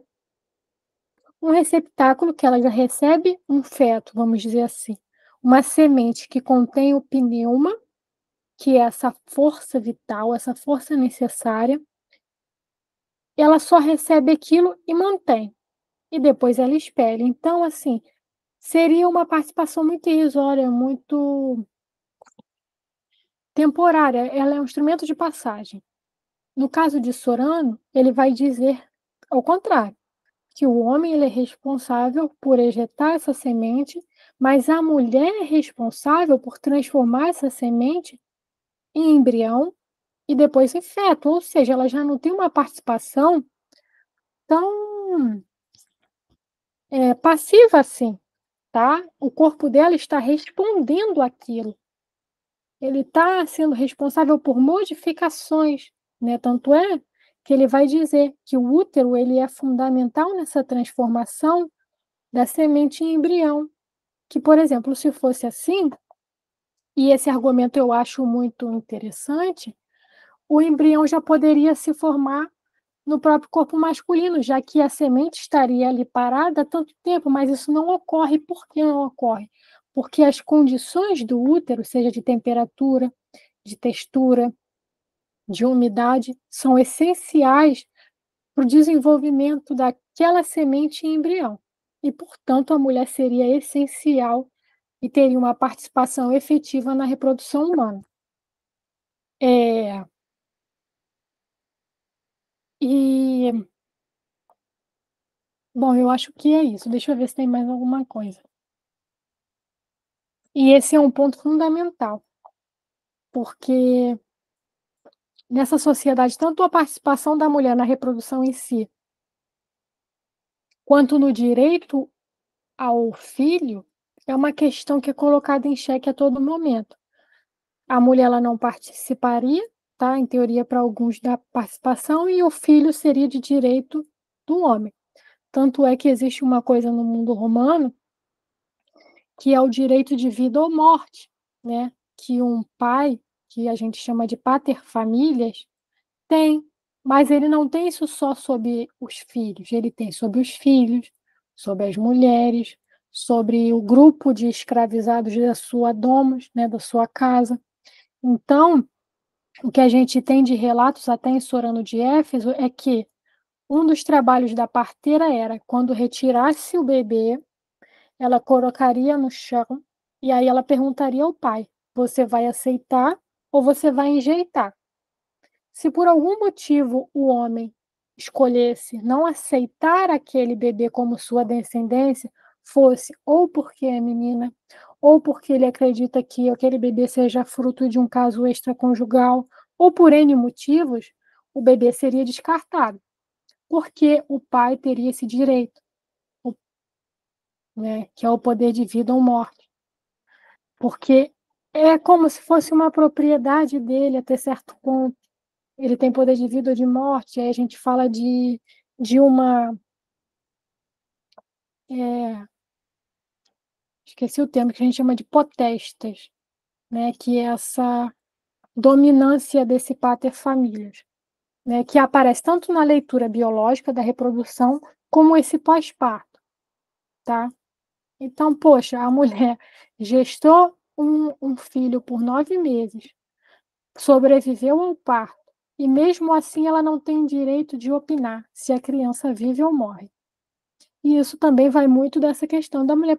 Você não participou na reprodução, então por que, que você quer opinar se esse filho não é seu por direito? E isso também é, tem uma série de consequências jurídicas, porque as mulheres, por exemplo, não poderiam adotar. Somente homens poderiam adotar, tá? E aí a gente viu uma leitura diversa em Galeno de Pérgamo, que é o seguinte: o colo do útero, que a natureza preparou como via de entrada do espermatozoide de saída do embrião maduro, termina nos órgãos genitais femininos. Nas relações, abre-se e alonga-se de tal modo que o esperma, avançando por um longo caminho, alcança facilmente a cavidade do útero e no parto dilata-se ao máximo para que o embrião possa passar através dele. Então aí a gente vê só nessa primeira parte que o corpo feminino ele tem uma atuação em resposta, ele não participa efetivamente. Quem tem uma atuação mais ativa é primeiro o espermatozoide e depois o, o útero, o, perdão, o embrião maduro já formado. Né? O corpo ele só responderia a esses dois momentos que já estavam ali como princípios ativos. A mulher sempre como um princípio passivo que só responde. Um, tá, logicamente, portanto, a natureza fê-lo fibroso e duro. Fibroso para que se contraísse e dilatasse ao máximo, alternadamente, e duro para que nessas mudanças não sofresse e se mantivesse ereto na recepção do esperma. Isso é muito importante, essa questão de recepção. Pois se ele tivesse caído sobre si mesmo em curvas e dobras, estas teriam impedido que o sêmen chegasse rapidamente às cavidades do útero. E isso teria separado o fluxo do pneuma, que precisam estar juntos, já que um é necessário como princípio do movimento e o outro como material para a formação dos vasos. Eu não sei se em algum momento vocês já tiveram contato com alguma, alguma leitura, alguma referência sobre o pneuma, mas nesse contexto, pneuma é essa noção de sopro da vida. O pneuma é como se fosse a alma, a força vital. Quando ele fala aqui que o pneuma ele é o material para a formação dos vasos, é porque Galeno acredita que o corpo humano ele começa a ser formado a partir dos vasos sanguíneos. Então, ele é o princípio de formação, de geração do, do ser humano. E quando a mulher recebe, isso já está pronto, ela não tem nenhuma participação efetiva. Tá? É como eu disse, ela tem uma, uma atuação passiva que se dá em resposta à participação ativa, primeiro do espermatozoide, que contém o fluxo, que é o princípio de movimento, responsável pelo movimento, e o pneuma, que é esse sopro de vida, esse princípio da vida, que é o que, que transforma essa matéria né, em modificação, começando pelos vasos, em ser humano. Então, para Galeno, é, a mulher não teria participação, por esse e por outros motivos, tá? Entre os outros é porque ela é imperfeita, porque ela é um corpo frio. E e aí eu pergunto para vocês ao final dessa apresentação, a, por que, que eles falariam isso? Né? Um falaria que sim, outro que não, dentre outras coisas. E aí eu retomo com vocês, porque eles estavam falando para um público-alvo distinto, porque eles faziam parte de escolas médicas distintas e porque eles tinham é, finalidades em mente para esses tratados distintos, eles tinham contatos com o corpo feminino de forma diferente, tá? Bom, e aí é isso. Eu trouxe somente esses dois exemplos para a gente analisar, porque foram muitos que eu utilizei na minha dissertação e não daria tempo, mas né, eu escolhi apresentar para vocês sobre essa ótica da participação da mulher na reprodução humana, mas tem muitas outras chaves de análise, eu digo preocupações, questões a serem analisadas, muito interessantes. A medicina ela tem se mostrado uma eu digo medicina da antiguidade, documentos médicos, né? Uma oportunidade de estudo ainda muito rica, que tem muita coisa a ser analisada aqui no Brasil ainda não é tanto, no exterior é mais, mas que eu acho que é muito rica, não só para essa preocupação de gênero, como muitas outras questões, tá? Bom, aqui eu deixei algumas bibliografias, mas se, como eu disse, se vocês tiverem é, interesse, vocês podem me mandar mensagem, entrar em contato comigo, alguma dúvida, algum interesse, alguma sugestão de leitura, eu envio. E a Amanda pediu para eu falar rapidamente sobre a minha pesquisa de doutorado. Isso que eu apresentei para vocês foram foi um recorte, né, feito da minha pesquisa de mestrado. Atualmente, estou realizando o doutorado, que o doutorado foi uma, de certo modo, uma continuidade, né, dessa minha pesquisa, porque ao final dessa pesquisa eu me perguntei, nossa, se Sorano de Éfeso ele fala tantas coisas diferentes, por que ele é pouco estudado? Né? Até o momento, até o momento que eu estava realizando a minha dissertação, não tinha nenhum estudo sobre Sorano de Éfeso no Brasil. As pessoas sequer conheciam, tá? É, existe um trabalho em língua portuguesa, mas é de uma professora da Universidade da Madeira e ela não é de História de Letras. Então, assim, existe um esforço hoje em dia em Portugal para traduzir esses esses documentos, mas são preocupações diferentes, né? Não tem tanto essa leitura histórica, mas existe uma recuperação para tradução. Mas no Brasil não se tinha. E aí eu pensei, nossa, o Galeno, né, Galeno de Pérgamo, ele é um médico muito, muito mais conhecido. A gente pode até equiparar nos estudos antigos a relevância que ele tem, a quantidade de pesquisas que tem sobre o trabalho dele, e isso em parte porque muitos trabalhos dele chegaram até nós, né? Uh, enquanto o outro ninguém conhece. Por quê? Sorano diz coisas assim muito diferentes, em alguns momentos até favoráveis às mulheres, né? E aí eu fiquei com essa fiquei encucada com isso, né? Galeno ele é muito famoso, existem muitos trabalhos, tem um livro inclusive que chama Galeno de O Príncipe da Medicina. E aí eu escolhi, bom, eu vou deixar Galeno de lado durante o meu doutorado e eu vou ver como que foi a recepção de Sorano de Éfeso. E essa foi a minha preocupação principal para a minha pesquisa do doutorado. É, e aí a minha pesquisa é o seguinte, é ver como esse, esse saber ginecológico de Sorano de Éfeso, né? E aí agora eu estou preocupada com o discurso sobre a mulher enferma e as doenças femininas, né, as doenças entendidas como inerentes ao sexo feminino, elas foram entendidas por Sorano no século II depois de Cristo, e como elas foram retomadas no século V depois de Cristo e no século VII, como houve essa transposição desses saberes. E isso é possível de saber que houve, né, essa recepção em diferentes momentos, porque nós temos menção ao trabalho dele nesses dois momentos, em tratados. Um é de Célio Aureliano, do século V, e outro de Paulo de Egina. Eles mencionam o trabalho de Sorão de Éfeso, eles tiveram contato. E a própria historiografia, ela também nos aponta esse contato.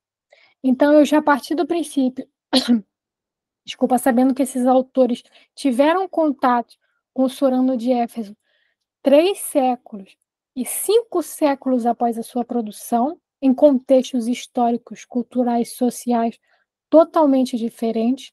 E hoje a minha preocupação é ver como esses autores eles recepcionaram a obra de Sorano de Éfeso e como que eles tornaram essas obras incríveis, né? Como quais foram as modificações, o que que eles aceitaram e mantiveram, o que que eles é, não aceitaram e modificaram da obra dele e quais foram as propostas de inovação em cima das obras da obra dele nesses dois séculos. E aí a minha preocupação é porque nesse século, né, a gente tem um processo de cristianização, né, em curso, que aí tem algumas implicam em algumas questões sociais, culturais e médicas, e aí eu destaco três para vocês, né? A primeira é a questão do médico, porque se antes a gente tinha um profissional da saúde, no caso vários, que dominavam esse contato com a medicina, né, com a recuperação da saúde, agora a gente passa a ter outras figuras, por exemplo, de Jesus, dessas figuras de dentro da igreja, como pessoas que podem mediar essa cura, como que isso se dialoga com o médico? A figura do médico desaparece? Eu não sei ainda. Quem tem mais prestígio social? Também não sei. Vou pesquisar. É, segunda questão é a questão do corpo, né? Alguns historiadores vão dizer que com a ascensão do cristianismo, as mulheres vão ter mais projeção social. E que isso também vai influenciar no modo como os corpos são vistos, que existe uma que os corpos masculino e feminino já não tem tanto essa hierarquização, mas que são equiparados, pelo menos discursivamente. E também, como eu pretendo estudar sob a ótica das doenças, né, e da mulher doente, como esse, esses períodos eles modificaram a questão do sofrimento, né? Poxa, se antes eu não queria sofrimento, agora como é que eu estou vendo esse sofrimento corporal? Seja ele qual for. É, é um castigo? Eu devo sofrer e aceitar minha condição? Não sei, vou pesquisar ainda.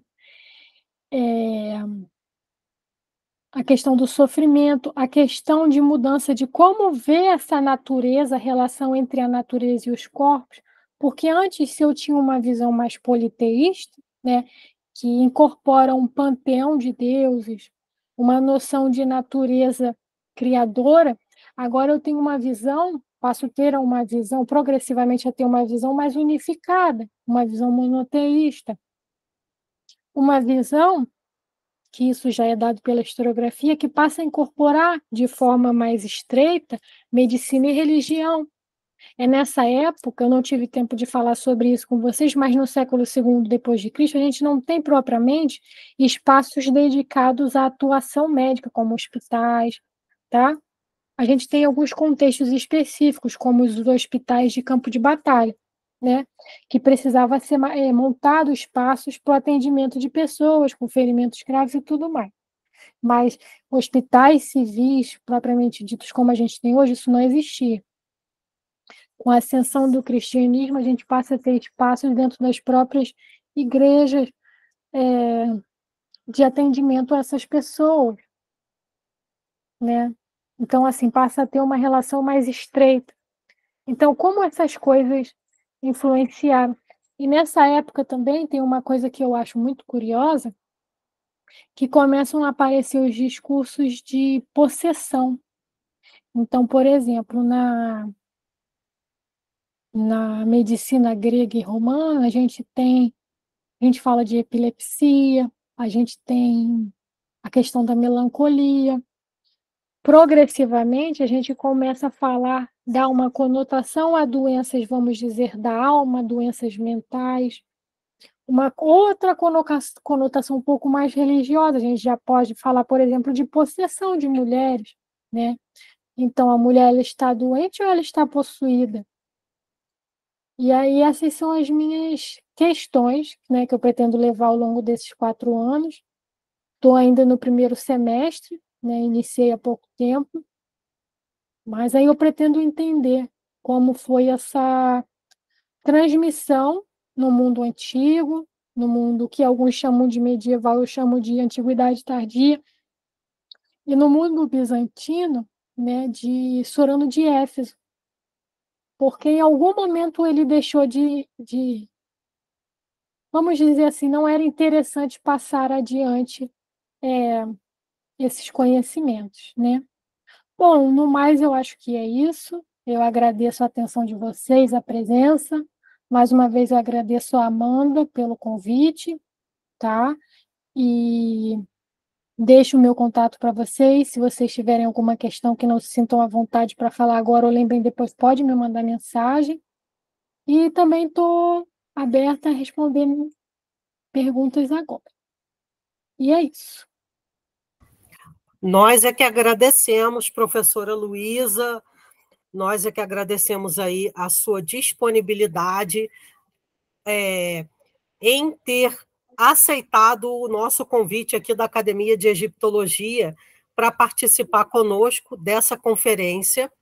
Agradeço muito em nome aqui de todas as nossas turmas.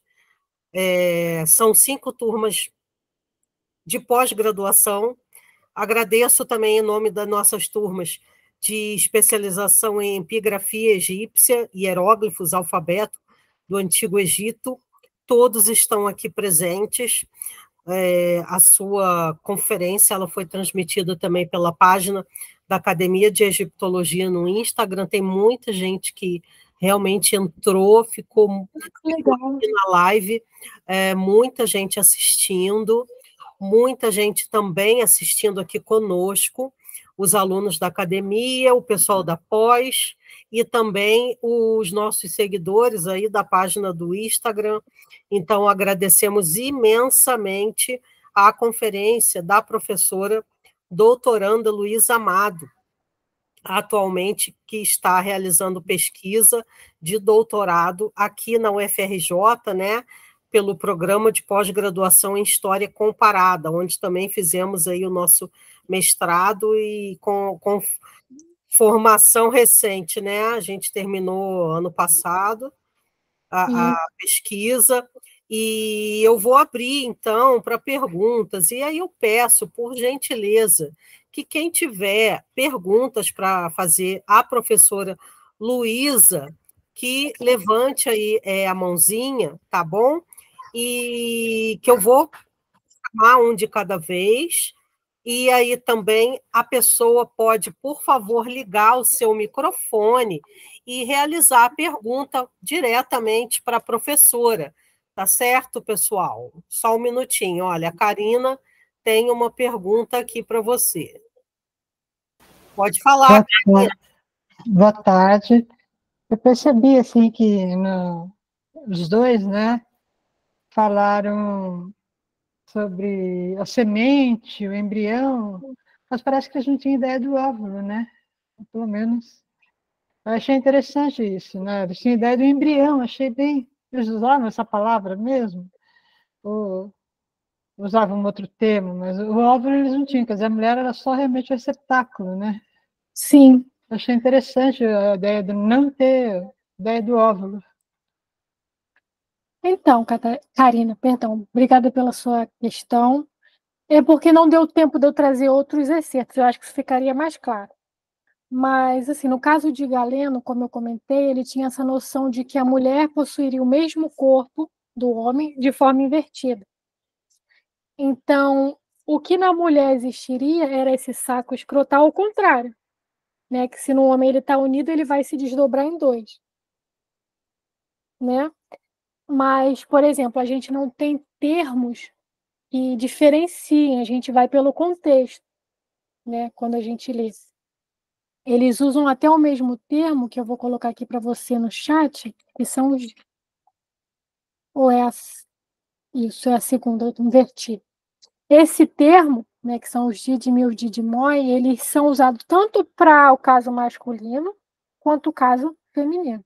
Só que no caso do homem, a diferença é que funciona direito. No da mulher, não. Ele até compara a mulher, Galeno, nesse caso, a uma topeira.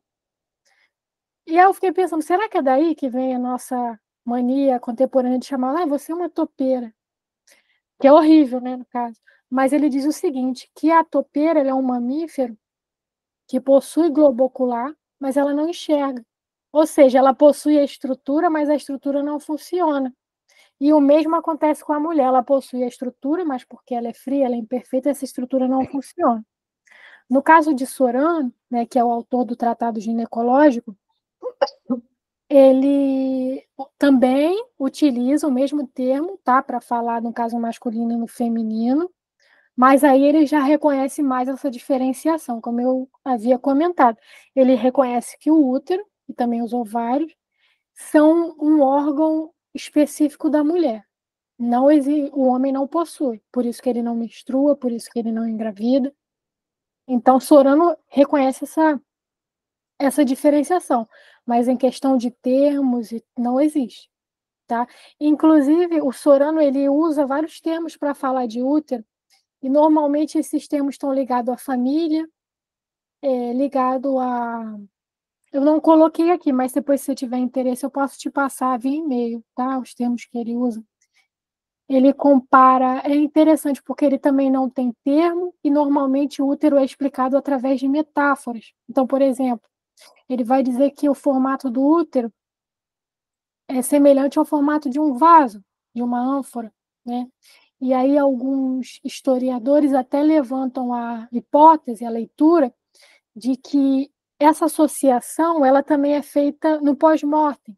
Então, por exemplo, A gente tem muitas crianças, quando a gente vai ver o enterramento de crianças, a Amanda pode falar mais sobre isso do que eu, que são, digo, recém-nascidos mesmo, né, que não sobreviveram, eles são enterrados em vasos de cerâmica. E, ou seja, ele retornou ao útero, porque ele não teve a sua vida completa.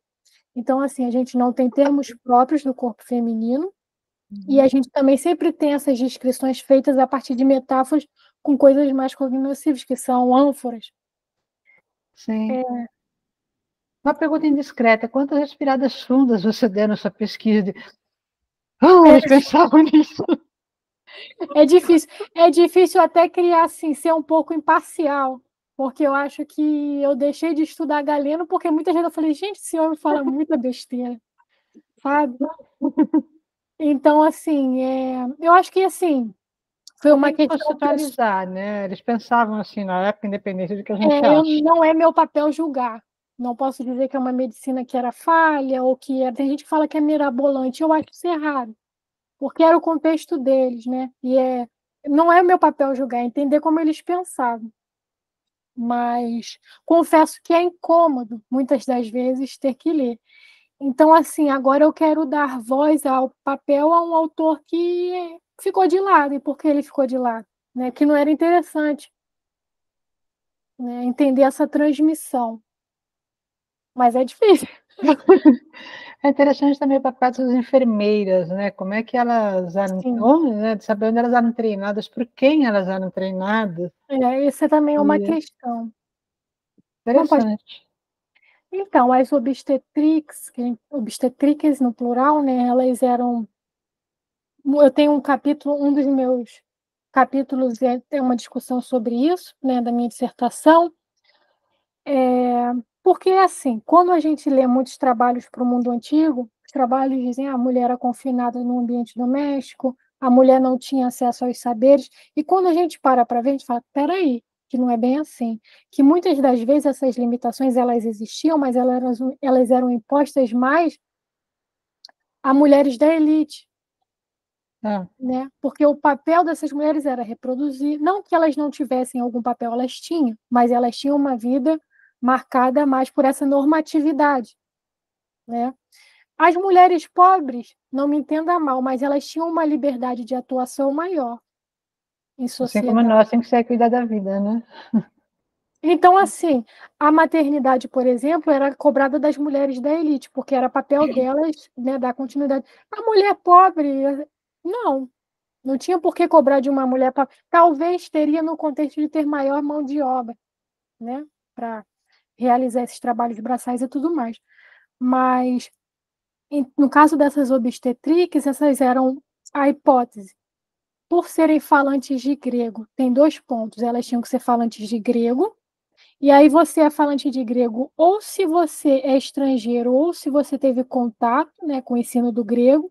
A gente sabe que as meninas da elite elas aprendiam até determinado momento, né, depois elas paravam. Eu não lembro exatamente qual era a faixa etária, mas inicialmente elas tinham o ensino de um pedagogo. Então elas tinham ali é, poesia, essas questões, mas depois de um momento elas paravam de estudar, nesse sentido de instrução, enquanto os homens continuavam na formação para a vida pública. A gente vai ver que os senadores eram idosos. Né? Até chegar no cargo de senador, ele passou por muitas fases dessa formação. Então, para a mulher ela ter o domínio do grego, ou ela teve contato formal com esse aprendizado, mas a gente também tem que fazer essa diferenciação, né? O que é ler em grego, o que é falar grego, às vezes a pessoa entende. Para ter acesso ao escrito, teria que saber ler. Mas também poderia ser só da escuta, da oralidade. Então a gente tem duas hipóteses. Ou teria contato formal com o aprendizado, ou era uma estrangeira. A gente sabe que contato formal é mais difícil, porque como comentei, essa atividade era uma atividade técnica. E não era uma atividade própria da elite, era uma atividade sórdida, que era realizada por grupos subalternos. Então, é mais provável que fossem estrangeiras, mulheres de estratos sociais mais baixos, né? podendo ser até mesmo mulheres escravizadas, tá? que, se, que atuariam até junto do próprio médico ou serviriam alguma família. Eu não sei se vocês já assistiram uma série chamada Domina, que a série conta a história de Lívia, né, a primeira imperatriz esposa de Augusto. Nessa série a gente tem a figura de uma escravizada, que agora eu não me recordo o nome, mas que era uma mulher que detinha o conhecimento das ervas, era uma mulher que, que atuava em partos, e ela era uma escravizada, ela não era uma mulher livre, né? E, e a obstetrix, o, o Sorano de Éfeso, todo o capítulo do primeiro tratado, ele vai fazer a descrição da, da obstetrix. Então, ele vai dizer que ela deveria ter conhecimento teórico e prático, e ele vai quebrar com um monte de questões, vai romper com questões que a gente tem em mente sempre que a gente fala mulher na antiguidade. Então, por exemplo, ele vai dizer que a obstetrix ela tem que ter uma mulher com força física. A gente não pensa isso. Ela tem que ser uma mulher que tem uma musculatura desenvolvida, porque ela é uma mulher que vai erguer outra mulher no momento do parto. E a gente sempre pensa a mulher como sexo frágil, né? Tem essas questões que culturais que acabam influenciando na nossa pesquisa. Quando a gente faz pesquisa, a gente tem que tentar se livrar de tudo dia, para não fazer uma leitura errada do passado. E ele fala, por exemplo, que a obstetrix ela não tem que ser mãe, ela tem que ser uma mulher capaz de entender a dor de outra mulher. E assim, isso também quebra, porque como assim todas as mulheres eram mães? Não é, mas não é bem assim. É, e aí ele fala que ela deve ter boa memória, deve ser uma mulher ágil, que saiba ouvir e atuar em momentos de, de, de situações extremas mesmo, né? Como você está perdendo uma mulher ali, a chance de morrer a mãe e o filho, como é que você vai lidar com isso? Você tem que ser preparado. E assim, eu levanto até a hipótese de que realmente essas mulheres participaram. Infelizmente, a gente tem para o mundo antigo uma questão de autoria que é muito latente, que a gente tem que pensar o que é autoria né, para o mundo antigo. O próprio corpus hipocrático, né, que é esse tratado de medicina grega, que é enorme, tem toda uma discussão de, foi só, de se realmente foi só uma pessoa que escreveu ou várias. Hoje em dia a gente sabe que foram várias, tanto é que se chama corpus hipocrático. Mas existiu Hipócrates, o médico, mas nem todos os tratados foram escritos Hipócrates. E aí esse tratado leva o nome de Sorão de Éfeso porque é um homem né? É... Mas não necessariamente foi só ele que escreveu aquilo, que elaborou, que sistematizou esse saber, que teve contato com esse saber. Então, assim, eu acho que são figuras bem emblemáticas. Sim, na época, né? Essa ideia que a gente tem é bem diferente do que você passou. Exato. Sim. E são mulheres de uma responsabilidade muito grande, porque além dessa questão da vida, ele fala em determinado momento que ela tem acesso à casa das pessoas, então ela tem que passar uma confiança. É muito curioso que ele diz, inclusive, que assim que ela não deve fazer uso de ervas abortivas como vingança, porque a mulher está confiando nela. O homem está mais do que a mulher. O pater famílias, que tem interesse naquela prole, está confiando nela. Então ela tem que ser uma mulher ética. É muito interessante, ele tem uma parte toda sobre isso, sobre a descrição dessa, vou dizer profissional de saúde aqui entre muitas aspas, está tanto para profissional quanto para a saúde. Obrigada. Nada, eu que agradeço. Certo, pessoal, eh, vocês que estão eh, aqui na live, tem, quem teria mais perguntas para a professora Luísa Amado? Por gentileza, podem, por favor, ligar o microfone e fazer a pergunta?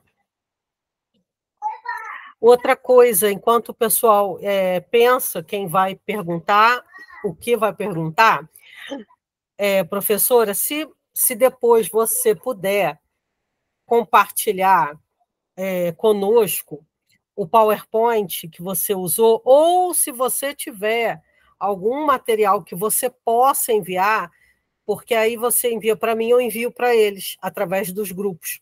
Porque okay. tá que todos são da pós.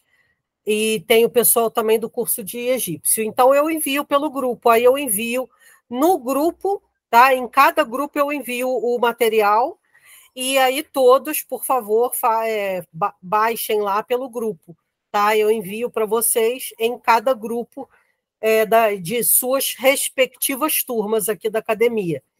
E aí, se você puder, você envia. Envio sim. Que você tiver, se você tiver é, condição de enviar a sua dissertação, se você tiver material, é esse PowerPoint ou um outro PowerPoint que seja útil também para eles. Sim, se eles tiverem algum interesse também, algum assunto que eu possa ajudar, pode me enviar e-mail depois também, em qualquer momento. Eu lembrei de uma coisa daqui um mês, pode enviar que eu também é, envio o que tiver de sugestão, de material já. Pessoal, então, olha, é, que geralmente o pessoal pergunta, ah, mas eu queria ah, material, será que a professora vai enviar? Tem, tem como compartilhar? Então, olha aí, tá? É, fiquem atentos, porque assim que a professora me enviar, eu vou enviar para vocês pelo grupo, tá? Não tem condição de eu enviar um por um, porque são muitas turmas e muitos alunos que estão aqui. Então, eu vou enviar o, a cópia do, do material que a professora Luísa vai disponibilizar para mim através dos grupos das turmas de vocês. Fiquem atentos para isso. Tem mais alguém que deseje realizar alguma pergunta para a professora Luísa? Então, hoje nós temos aqui a Letícia, a Ana Lígia, temos o Fábio, a Karina já perguntou. Temos a Fabiana, hum, deixa eu ver mais, quem está conosco? A Luíse. Então, enquanto vocês pensam, quem aí vai fazer alguma pergunta sobre a pesquisa da professora Luísa Amado, eu vou passar rapidamente um recado para vocês. Então, olha só, sexta-feira que vem, às 15 horas, mesmo horário que foi a conferência hoje e que tem sido é, as nossas lives, tá? Então, mesmo horário, só que sexta-feira, tá? Semana que vem, dia 24, sexta-feira, 15 horas, todos estão convidados para a conferência da professora é, Juliana Cavalcante, que atualmente ela está também no curso de pós-doutorado aqui pelo PPGARC, que é o Programa de Pós-Graduação em Arqueologia do Museu Nacional, na UFRJ. Então, na sexta-feira que vem, às 15 horas, teremos aí a conferência com a professora Juliana Cavalcante. Ah, mas como eu posso ter acesso? Então, como vocês podem ter acesso, é o seguinte: vocês vão receber um link, tá? Para acessar o nosso grupo. Somente quem estiver no grupo é que vai ter acesso à conferência. Então, quem tiver interesse, entre em contato comigo, tá? Eu vou adicionar vocês ao grupo e ali o link será enviado para que vocês acessem a sala virtual. Pessoal, e aí? Alguém mais tem alguma questão para a professora Luísa Amado? Estão pensando? Alguém mais vai fazer alguma pergunta? Quem for fazer a pergunta, eu peço que, por gentileza, ligue o microfone, tá certo?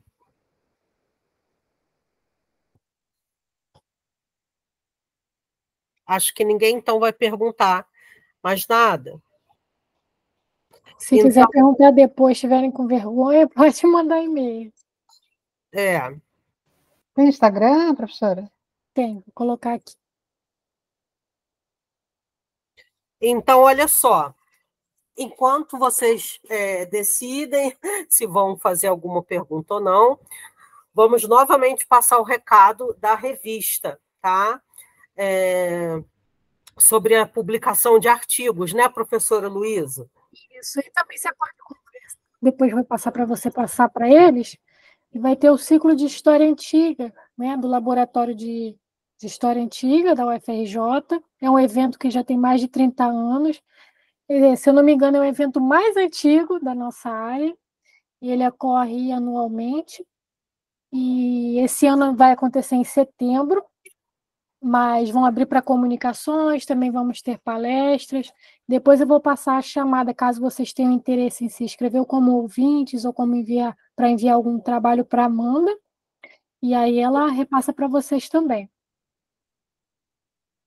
Perfeito. Então, pessoal, fiquem atentos, tá? Porque tem a publicação da revista Gaia, tá certo? Então, até o final de julho, vocês podem enviar os artigos para submissão, tá? Você lembra que eu até comentei quem uh, for aluno aqui, que eu sei que tem muitos alunos aqui da academia é, participando da live, vocês vão é, podem enviar para mim primeiro, tá? Então vocês enviam para mim, aí a gente vai dar uma olhadinha, tá bom? E aí o que, que acontece? Precisa também formatar na regra na é, regra para autores. A professora Luísa já colocou aqui no chat a chamada, tá? Então, já está aqui a chamada para quem for é, realizar a submissão de artigo para a revista Gaia, que está abrindo uma oportunidade excelente para vocês que trabalham com egiptologia também. Quem for da área de egiptologia, e tiver interesse em publicar o seu trabalho, publicar o seu artigo pela revista acadêmica da UFRJ Gaia, vai poder é, publicar, contanto que envie, logicamente, um trabalho coerente e dentro das normas de publicação da revista, que vocês vão encontrar nesse link aqui no chat que a professora Luísa ela já disponibilizou para vocês também, tá? Então vocês têm até o final de julho para pensar qual vai ser o tema e é, realizar a submissão do trabalho para a revista Gaia, dentro do tema Egiptologia, Egito Antigo, tá? Então, olha só, dia 24, conferência com a professora Juliana Cavalcante, dia 7 de junho, teremos uma conferência. Novamente, vamos receber o professor Paulo, aqui do NEA, da UERJ, também terminou o mestrado dele quase junto conosco ano passado. Ele é aqui do laboratório é, do Núcleo de Estudos da Antiguidade da UERJ. Vai voltar e fazer uma nova conferência aqui na Academia de Egiptologia no dia 7 de junho tá certo? E também será uma sexta-feira às 15 horas. E anotem na agenda, no dia 5 de julho, 5 de julho, sexta-feira, 15 horas, também vamos é, receber aqui novamente a professora doutora Márcia Severina Vasques, da UFRN, tá? Então, a professora está em viagem agora para a Itália, e quando ela retornar, em primeira mão, ela vai vir aqui na Academia de Egiptologia é, contar para nós, é, fazer o relato das informações que ela obteve com essa atual pesquisa que ela está realizando. Então, o tema da professora é Egito Romano, e ela trabalha com a cultura material que ela trabalha são as máscaras funerárias romanas. O período é o período de Egito Romano. Então anotem na agenda de vocês. Ah, eu tenho interesse sim em participar. Mesma mesma questão, entre em contato comigo que eu vou adicionar vocês ao grupo. Somente quem estiver dentro do nosso grupo de conferência aqui no WhatsApp é que vai receber o link de acesso, tá?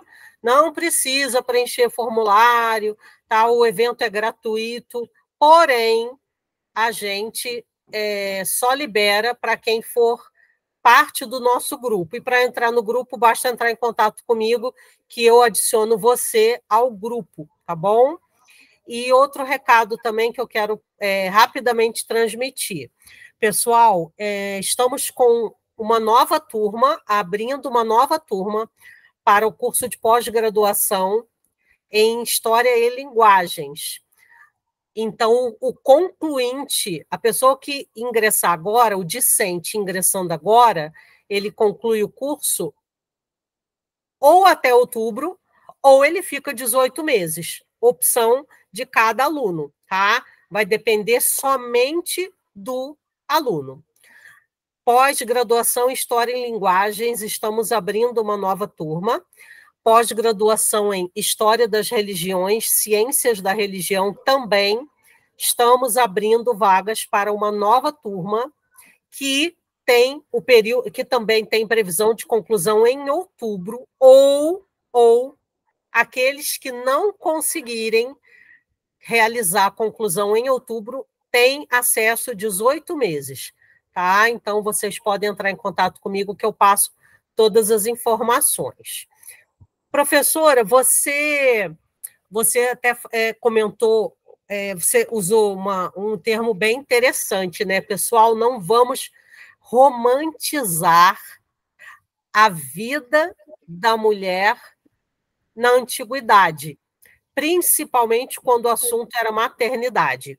Agora, e hoje em dia, hoje em dia, é, com toda a tecnologia, hum, com, toda o, com todo o avanço, a globalização, a internet, eu acredito que hoje cada casa, né, pelo menos assim, a grande maioria das residências, das famílias tem pelo menos alguém com um celular em casa, e esse celular provavelmente com internet.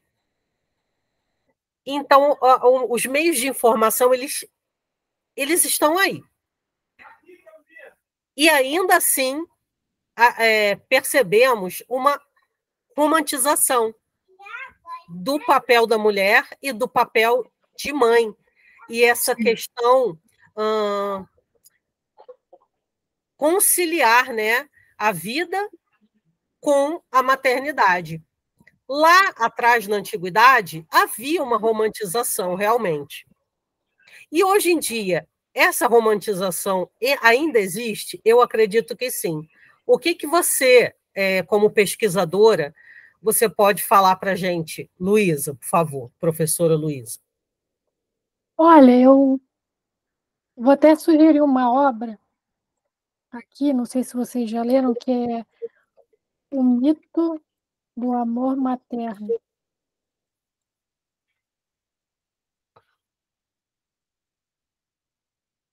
Coloquei no chat. Que assim é uma discussão interminável, né? Que essa discussão de uh, que a gente teria um que seria inerente, que seria algo eu esqueci o termo, mas instintivo, que existe um instinto materno, né? Isso é assim, eu acho que isso vai muito de uma tendência que a gente também vê na antiguidade, de circunscrever a mulher esse contexto reprodutivo, né? Quando a gente fala, por exemplo, de saúde do homem, a saúde sexual, né? Porque tem uma preocupação se a gente fala de mulher, saúde reprodutiva, então o corpo da mulher na antiguidade ele é pensado a partir dessa égide, né, dessa ótica da maternidade, e a gente vê que algumas coisas, ainda que de modos distintos, e aí a comparação é muito importante, né? Algumas permanências, então, assim, a gente ainda vê hoje. Eu acho que a maternidade dá muito pano para manga para a gente pensar muita coisa. Né? A gente vê hoje vários casos de abusos, de violência obstétrica, que é um assunto que está muito em voga. A gente vê a questão da retomada dessa naturalização dos partos, dos partos feitos em casa, da figura da doula, né, de uma tentativa de retirada, podemos dizer consciente ou inconsciente, do, medicalização, medicalização da vivência ginecológica, né, a gente vê que, por mais que a gente pense sempre em homens, né, até no campo da ginecologia, não que homens não possam atuar, mas que até na antiguidade já existiam mulheres. Né? Em até determinado momento, a gente tem uma predominância desses saberes, dessa oralidade, de conhecimentos que são dominados por mulheres. Recentemente eu vi a, notícia de que as mulheres, as parteiras do conhecimento, né, tinham se tornado patrimônio brasileiro, no conhecimento dessas parteiras. Então, acho que a gente tem uma série de movimentos que a gente pode pensar hoje contemporaneamente é, a partir da maternidade, né? a questão dos direitos reprodutivos, a questão é, dessa discussão em torno da licença maternidade. Por que, que a licença ela é maternidade para o pai? Quantos pais o pai fica pouquíssimos dias em casa, né? A criança ela só é deve ser de cuidado exclusivo da mulher, porque não licença parental, né? É... Então, assim, eu acho que sim, ainda existe toda uma construção social e cultural que circunscreve e limita a mulher nesse contexto reprodutivo, né? Nessa leitura social que, assim, não é porque o corpo da mulher é capaz de gestar e parir e amamentar, e aí eu digo mesmo biologicamente falando, que necessariamente a mulher vai ser vai ter um instinto, né, uma coisa animal assim de amor que ele é incondicional, que a mulher ela deva se anular, que a mulher ela deva passar a viver jornada dupla, tripa, tri, tô até falando errado aqui já, que, que existe um, um, fundamento biológico para esses tipos de comportamento. Isso a gente vê na antiguidade, foi isso que eu busquei ver na minha pesquisa, e a gente, infelizmente, vê ainda muitas continuidades disso hoje, né, de discursos que são fundamentados em questões biológicas, anatômicas, para comportamentos sociais. Né? E outra coisa que a gente deve pensar é só realmente é só a mulher que ela é capaz de cuidar de uma criança, que ela é capaz de. O que, que no nosso corpo torna a gente única para fazer esse tipo de atividade, né? Que gera tanto peso.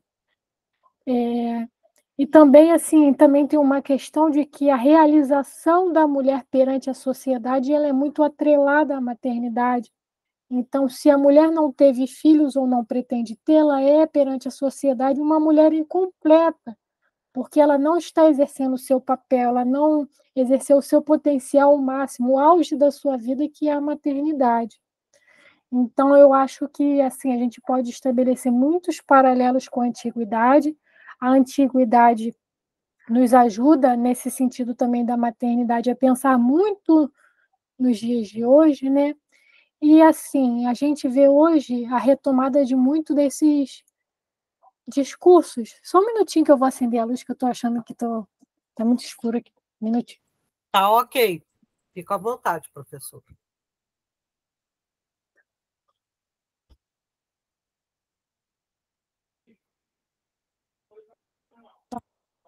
E assim, a gente vê retomada tanto do uso desses discursos da ordem da natureza, do biológico, para colocar algo como determinado, né, culturalmente. E também até a retomada, eu vejo, desses discursos médicos. Por exemplo, hoje em dia a gente entra no Instagram e aí a gente vê uma série de páginas sobre moda, sobre maquiagem, que fala em, em diferentes tipos de personalidade. Tem o, eu esqueci os termos, mas são quatro tipos. Né? Esses tipos são os tipos hipocráticos, né? Os tipos dos humores, que aí é como se aquilo determinasse a, a personalidade da pessoa e necessariamente as cores que ficam bem, as roupas que ela deve usar, o modo. Outro tipo de situação que eu acho muito constrangedor até de falar, essa noção de que a mulher é inferior porque ela é feita a partir do homem. A gente vê isso, por exemplo, nas narrativas bíblicas, a gente vê isso com Eva, a gente vê isso com Pandora, e a gente vê isso hoje, por exemplo. Tem uns comentários aí, eu peço tanto licença quanto desculpa para falar sobre isso, porque eu acho uma coisa extremamente complicada, que é assim, são cartazes de um cunho muito que eles falam que a mulher, ah, você saiu do, eu não saí da sua, você saiu da minha costela. Não, você saiu do meu saco como se as pessoas já tivessem vivas enquanto espermatozoide e que a mulher não tivesse uma participação na reprodução. Aí tem dois pontos, né, que eu comentei com vocês, que a mulher não participa da reprodução, porque já no espermatozoide a gente já tem um indivíduo formado. E segundo, que a mulher ela foi feita posteriormente o homem e para o homem. Né, que é essa noção de que da costela, da criação posterior, que é uma criação imperfeita, feita à imagem do homem, porém perfeita. Eu, eu acho que isso é um discurso que ainda está em voga no dia de, no, nos dias de hoje e, e inclui, sem dúvida, a maternidade.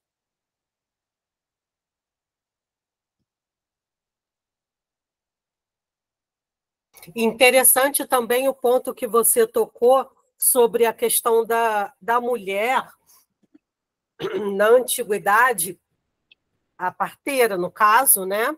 Ela precisar ter o conhecimento das ervas, das plantas, das raízes, de como utilizar, de como manipular Sim. o uso dessas raízes, plantas, ervas para cuidar né, da mãe, depois para cuidar do neném, depois do parto, ou durante também é, o parto, em todo esse processo, a partir do, do momento que a mulher ela engravidou até o momento que ela vai né, conceber.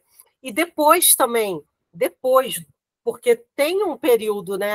Tem um período que a mulher vai ficar é, amamentando o neném, então, muito interessante essa questão da mulher ter que ter esse conhecimento, né? Porque aí já, já, já remete àquela, a outra questão lá do quinto século, lá do, da Atenas, que se a mulher soubesse já era mal vista. Sim.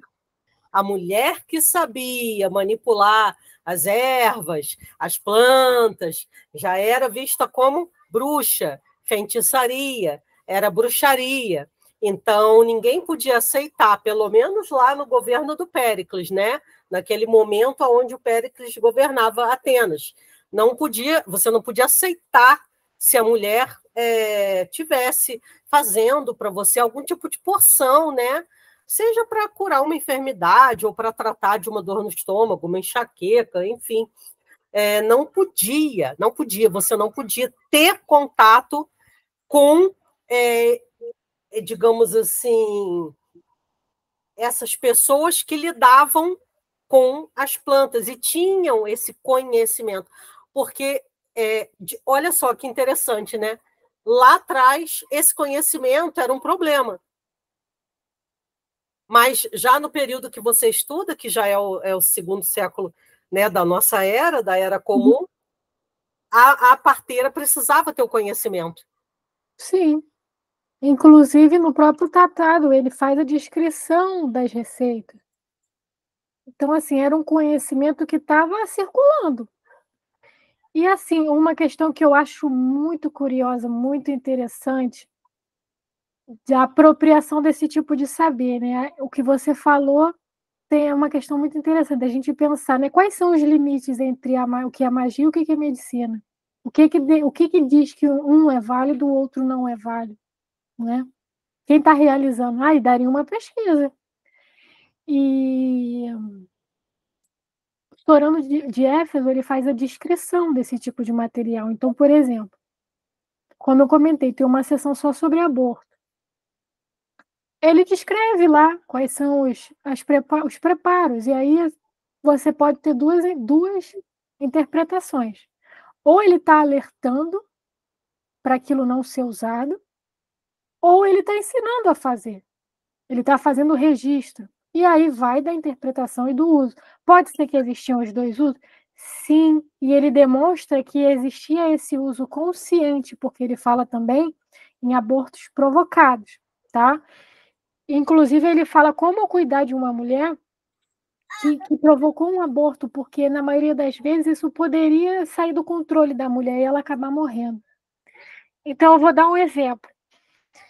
Ele diz que uma das formas de você expulsar do seu corpo esse, esse semente, esse embrião, era através de pulos. E ele descreve que a mulher deveria pular de tal modo que ela conseguisse bater os pés nas nádegas. Então eram pulos assim que demandavam muita força física, muita energia. E aí quando eu li isso, eu lembrei de uma carta que, se eu não me engano, é de Plínio, né, um autor da antiguidade, reclamando que ele já havia se casado há um tempo com uma mulher jovem A gente não pode esquecer que eram meninos de 12, 13, 14 anos, então na idade reprodutiva. E aí tem um outro ponto, né, que quando o casal não consegue ter filho, a culpa é sempre da mulher, porque a infertilidade masculina ela não é pensada, tá? É sempre a feminina. É, e, e Sorano, inclusive, ele fala como você pode reconhecer uma mulher fértil, mas nessa situação do aborto, eu lembrei de uma carta em que esse autor ele reclama que ele havia casado com uma mulher que era jovem, saudável e que ela não engravidava de jeito nenhum. Ela não conseguia ter uma prole com essa mulher. E aí qual a situação que me chamou a atenção? Que ele reclamou que finalmente quando a mulher engravidou, a sua esposa, ela foi pular corda com uma escravizada. Então aí ela perdeu o bebê porque ela pulava muita corda com a escravizada. E aí eu pergunto, eu me perguntei muito, será que foi consciente? Será que foi inconsciente, dado a, a, a, o histórico dessa mulher não conseguir engravidar? Será que ela tinha acesso? A gente nunca vai saber, mas a gente sempre vai poder levantar hipóteses em cima disso, né? Que o trabalho historiográfico é isso. E uma outra questão, ainda relacionada ao manuseio, é que eu não sei se vocês tiveram já acesso a esse tipo de informação, mas uma das atividades mais relacionadas à matrona romana, a mulher romana, essa que é mãe, é o tear, né? Essa questão de você da linha do, do tear, de produzir roupas, mesmo que elas não fizessem propriamente, pelo menos ter essa imagem, ter um tear em casa, ficar fingindo ali um pouquinho para quem passar pela casa ver que ela tá, não que ela fizesse minhas roupas. A gente até tem o caso de Lívia, que foi uma imperatriz bem falada, que em determinado momento eles até falam que ela costurava as roupas do marido, né, que era o imperador, que era Augusto, primeiro imperador. Então, assim, a figura da matrona ela é muito marcada por essa questão do tear, do costurar, da linha, da lã, a lã é muito importante. E aí, quando você vai ver essa lista de preparos abortivos, se a gente pode chamar assim de Sorano de Éfeso, ele fala em muitos emplastos, ou seja, ervas maceradas misturadas com outros tipos de. E aí, muitos eram para ser ingeridas via oral, mas também outros eram para ser inseridas no canal vaginal. E aí eu pergunto para vocês: vocês imaginam qual era o tipo de material usado para amalgamar essa mistura e conseguir inserir? A lã. É o que estava de fácil acesso a essas mulheres e que elas poderiam facilmente dar outro uso, né? que seria a negação dessa maternidade. Então, assim, eu acho que estudar maternidade, estudar mulheres, estudar o feminino na antiguidade tem que ser uma coisa feita com cuidado, porque a gente acaba levando esses nossos preceitos, preconceitos, concepções para a antiguidade, e aí muitas vezes a gente vê que pode não ser nada daquilo, né? E essa questão de maternidade e corpo, eu acho que é uma dessas situações.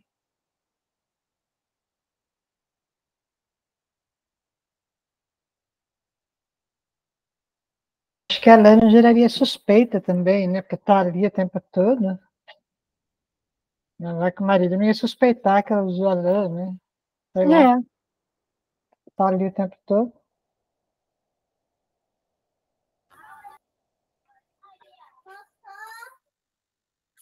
Pessoal, vocês da live vão fazer mais alguma pergunta? Alguém da live tem alguma pergunta para a professora?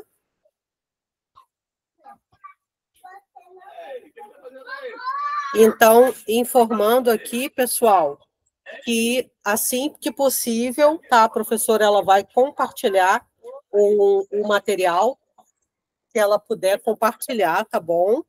E aí eu compartilho com vocês lá nos seus respectivos grupos, tá certo? Então, queremos agradecer imensamente à professora doutoranda Luiz Amado, que atualmente faz parte do programa de pós-graduação em História Comparada, aqui pelo PPGHC, na UFRJ.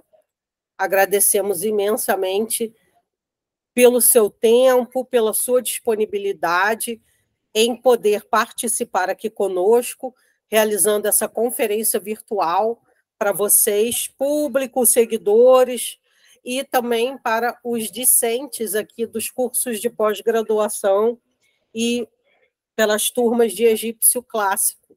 Muito obrigada, professora, muito obrigada pelo, pelo carinho de sempre e por ter se disponibilizado a vir aqui e ceder o seu tempo fazendo a palestra para os nossos alunos da Academia de Egiptologia.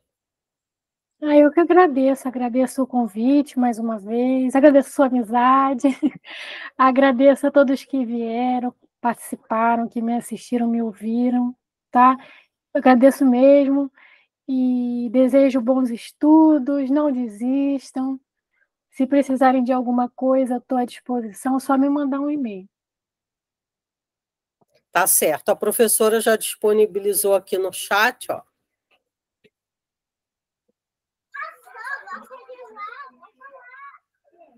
Já temos aqui a o link, né, que você colocou já da, das publicações na revista Gaia. Sim, a chamada. Ah, sim, o e-mail, o e-mail da professora. Ah, o Instagram da professora, arroba Luísa Amado, tudo junto. O tem o L, L Luísa Amado. Isso. Ah, é, tem o L. Ih, eu não estou vendo aqui. L Luísa Amado, isso, tudo junto. Arroba L Luísa Amado. É o Instagram da professora. O e-mail, luísa amado, arroba outlook.com. Uhum. Dúvidas que vocês tiverem, podem entrar em contato. A professora disponibilizou aqui para vocês já o e-mail dela. E aqui também já temos o link, olha. Com grande entusiasmo, a revista Gaia, juntamente com a professora doutora Beatriz Moreira da Costa e o professor doutor Tiago Henrique Pereira Ribeiro, convidam a comunidade acadêmica a contribuir com artigos para o nosso próximo dossiê cujo tema será o Egito Antigo sob o olhar brasileiro, estudos discentes em egiptologia. Então, pessoal, ó, a oportunidade está aqui, ó. O link ela já passou para vocês. Vou até compartilhar aqui. Vou já uh, ver se eu consigo abrir aqui na tela.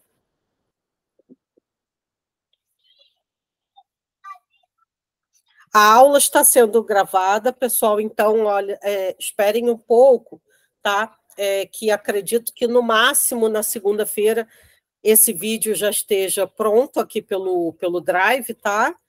Já esteja salvo, e aí eu consigo subir o vídeo para o canal da Academia de Egiptologia. Então, quem não pôde assistir vai poder assistir a aula gravada. Acredito que a partir de segunda-feira eu consiga já passar para lá. Ah, sim, está me pedindo acesso. Hum. E está pedindo acesso aqui pela revista Gaia. Hum, peraí.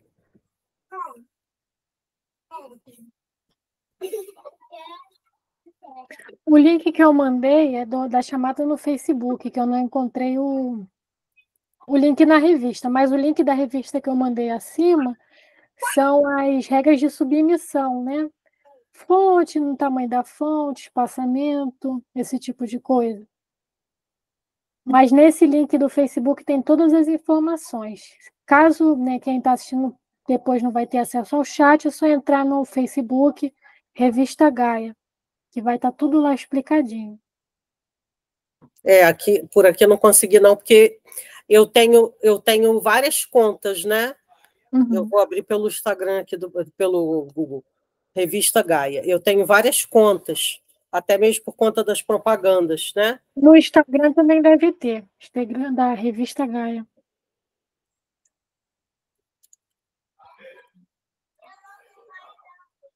E aí, como a gente tem, infelizmente, o Facebook, ele, quando você posta o anúncio, né, que são os cartazes do convite da, do, do curso de pós, você vai colocando muito link, muito cartaz, ele acaba bloqueando a gente. Então, uma das minhas três contas já está bloqueada. Então, ó, aqui a revista Gaia.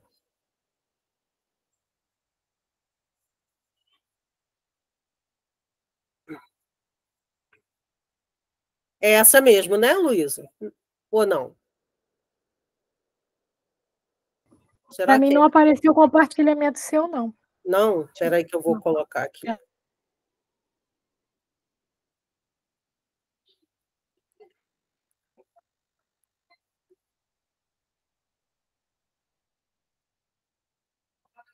Inclusive, quem tiver. Não é essa, não. É essa aqui, ó. Quem é, tiver interesse, o último dossiê, eu participei da organização, é um dossiê cujo tema é Gênero e Diversidade na Antiguidade. Já está publicado. É, porque tem. É, se a recepção dos artigos é sobre o Egito Antigo, até achei estranho. É esse primeiro, é esse primeiro. Revista FRJ. Uhum.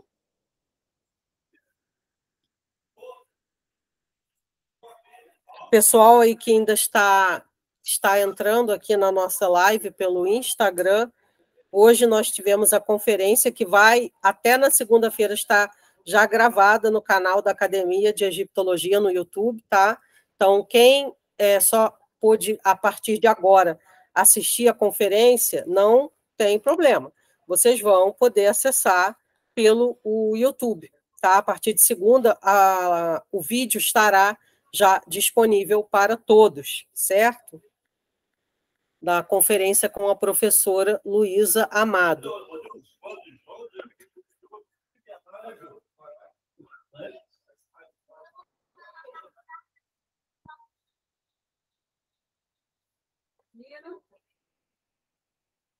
Então, ah, peraí, o Egito Antigo, ah, já achei aqui, ó. Isso aí.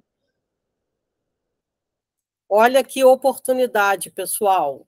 Lembrando, lembrando a todos que estamos com uma nova turma para alfabetização em hieróglifos egípcios. Essa turma ela faz aulas ao vivo conosco, uma vez por semana aqui na Academia de Egiptologia. O material é um material gratuito que nós fornecemos inclusive gramáticas, exercícios, atividades, livros, PDFs. Ah, não, não tem, a Academia de Egiptologia não cobra nenhuma taxa de matrícula, certo? A duração do curso, tá? Da nossa atual turma, que é a turma 2 de 2024, turma número 2, é, a nível de iniciantes, tá?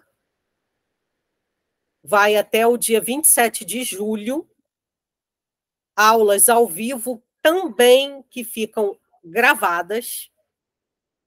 E aqui, olha, dossiê Antigo Egito sob o olhar brasileiro, estudos discentes em egiptologia. A professora Beatriz, a professora doutora Beatriz Moreira da Costa, e o professor doutor Tiago Henrique Pereira Ribeiro, inclusive, que também é professor aqui na nossa pós.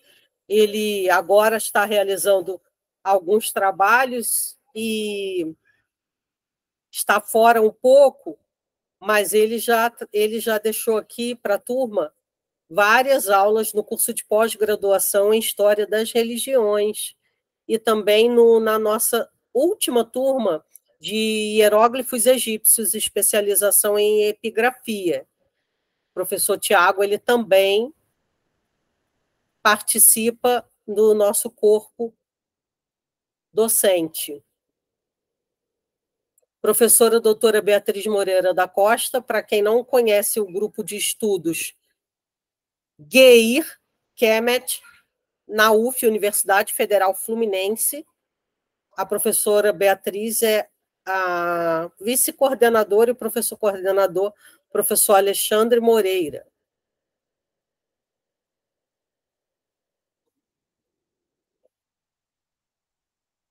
Então, olha, quem for enviar a sua submissão, tá? Já está aqui, ó. Basta entrar aqui na, no site do Revistas UFRJ, Revista Gaia, e enviar a sua submissão dentro aqui do, dos, das normas de publicação da revista. Certo, pessoal? Lembrando que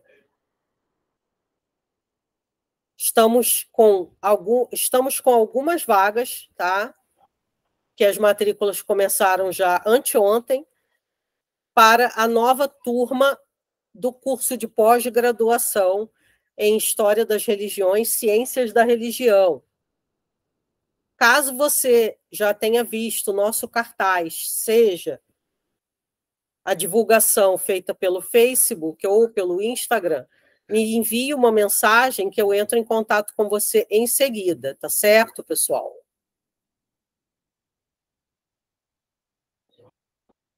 Muito obrigada a todos que participaram dessa live de hoje. Agradeço imensamente. Agradeço a vocês que estão assistindo aqui pelo Instagram. Inclusive o Gaia Antigo Egito também já entrou aqui. Aqui no Instagram. Quem tiver interesse, basta entrar em contato comigo, tá bom? Sou a professora Amanda Rutfles, diretora da Academia de Egiptologia e coordenadora dos cursos de pós-graduação, em parceria com o trabalho da Faculdade Iguaçu, que também faz parte da rede de faculdades Educa Minas e Facu Vale. Temos também algumas vagas para a turma de pós-graduação em Egiptologia e temos também algumas vagas para a turma de pós-graduação em História do Brasil, Império e República. Muito obrigada, professora Luísa Amado, agradeço a todos os presentes e nos encontramos novamente na próxima sexta-feira, às 15 horas, dia 24. Lembrando que para participar da conferência virtual com a professora Juliana Cavalcante, vocês precisam é, ter um acesso pelo grupo aqui do WhatsApp, tá? Então tem que entrar em contato comigo para que eu faça o acesso de vocês aqui ao nosso grupo, tá certo, pessoal? Muito obrigada a todos e até a próxima.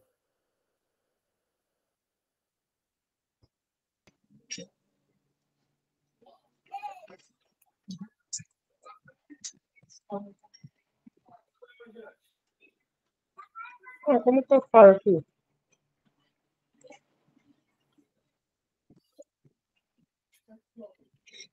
Sair. Como que eu saio?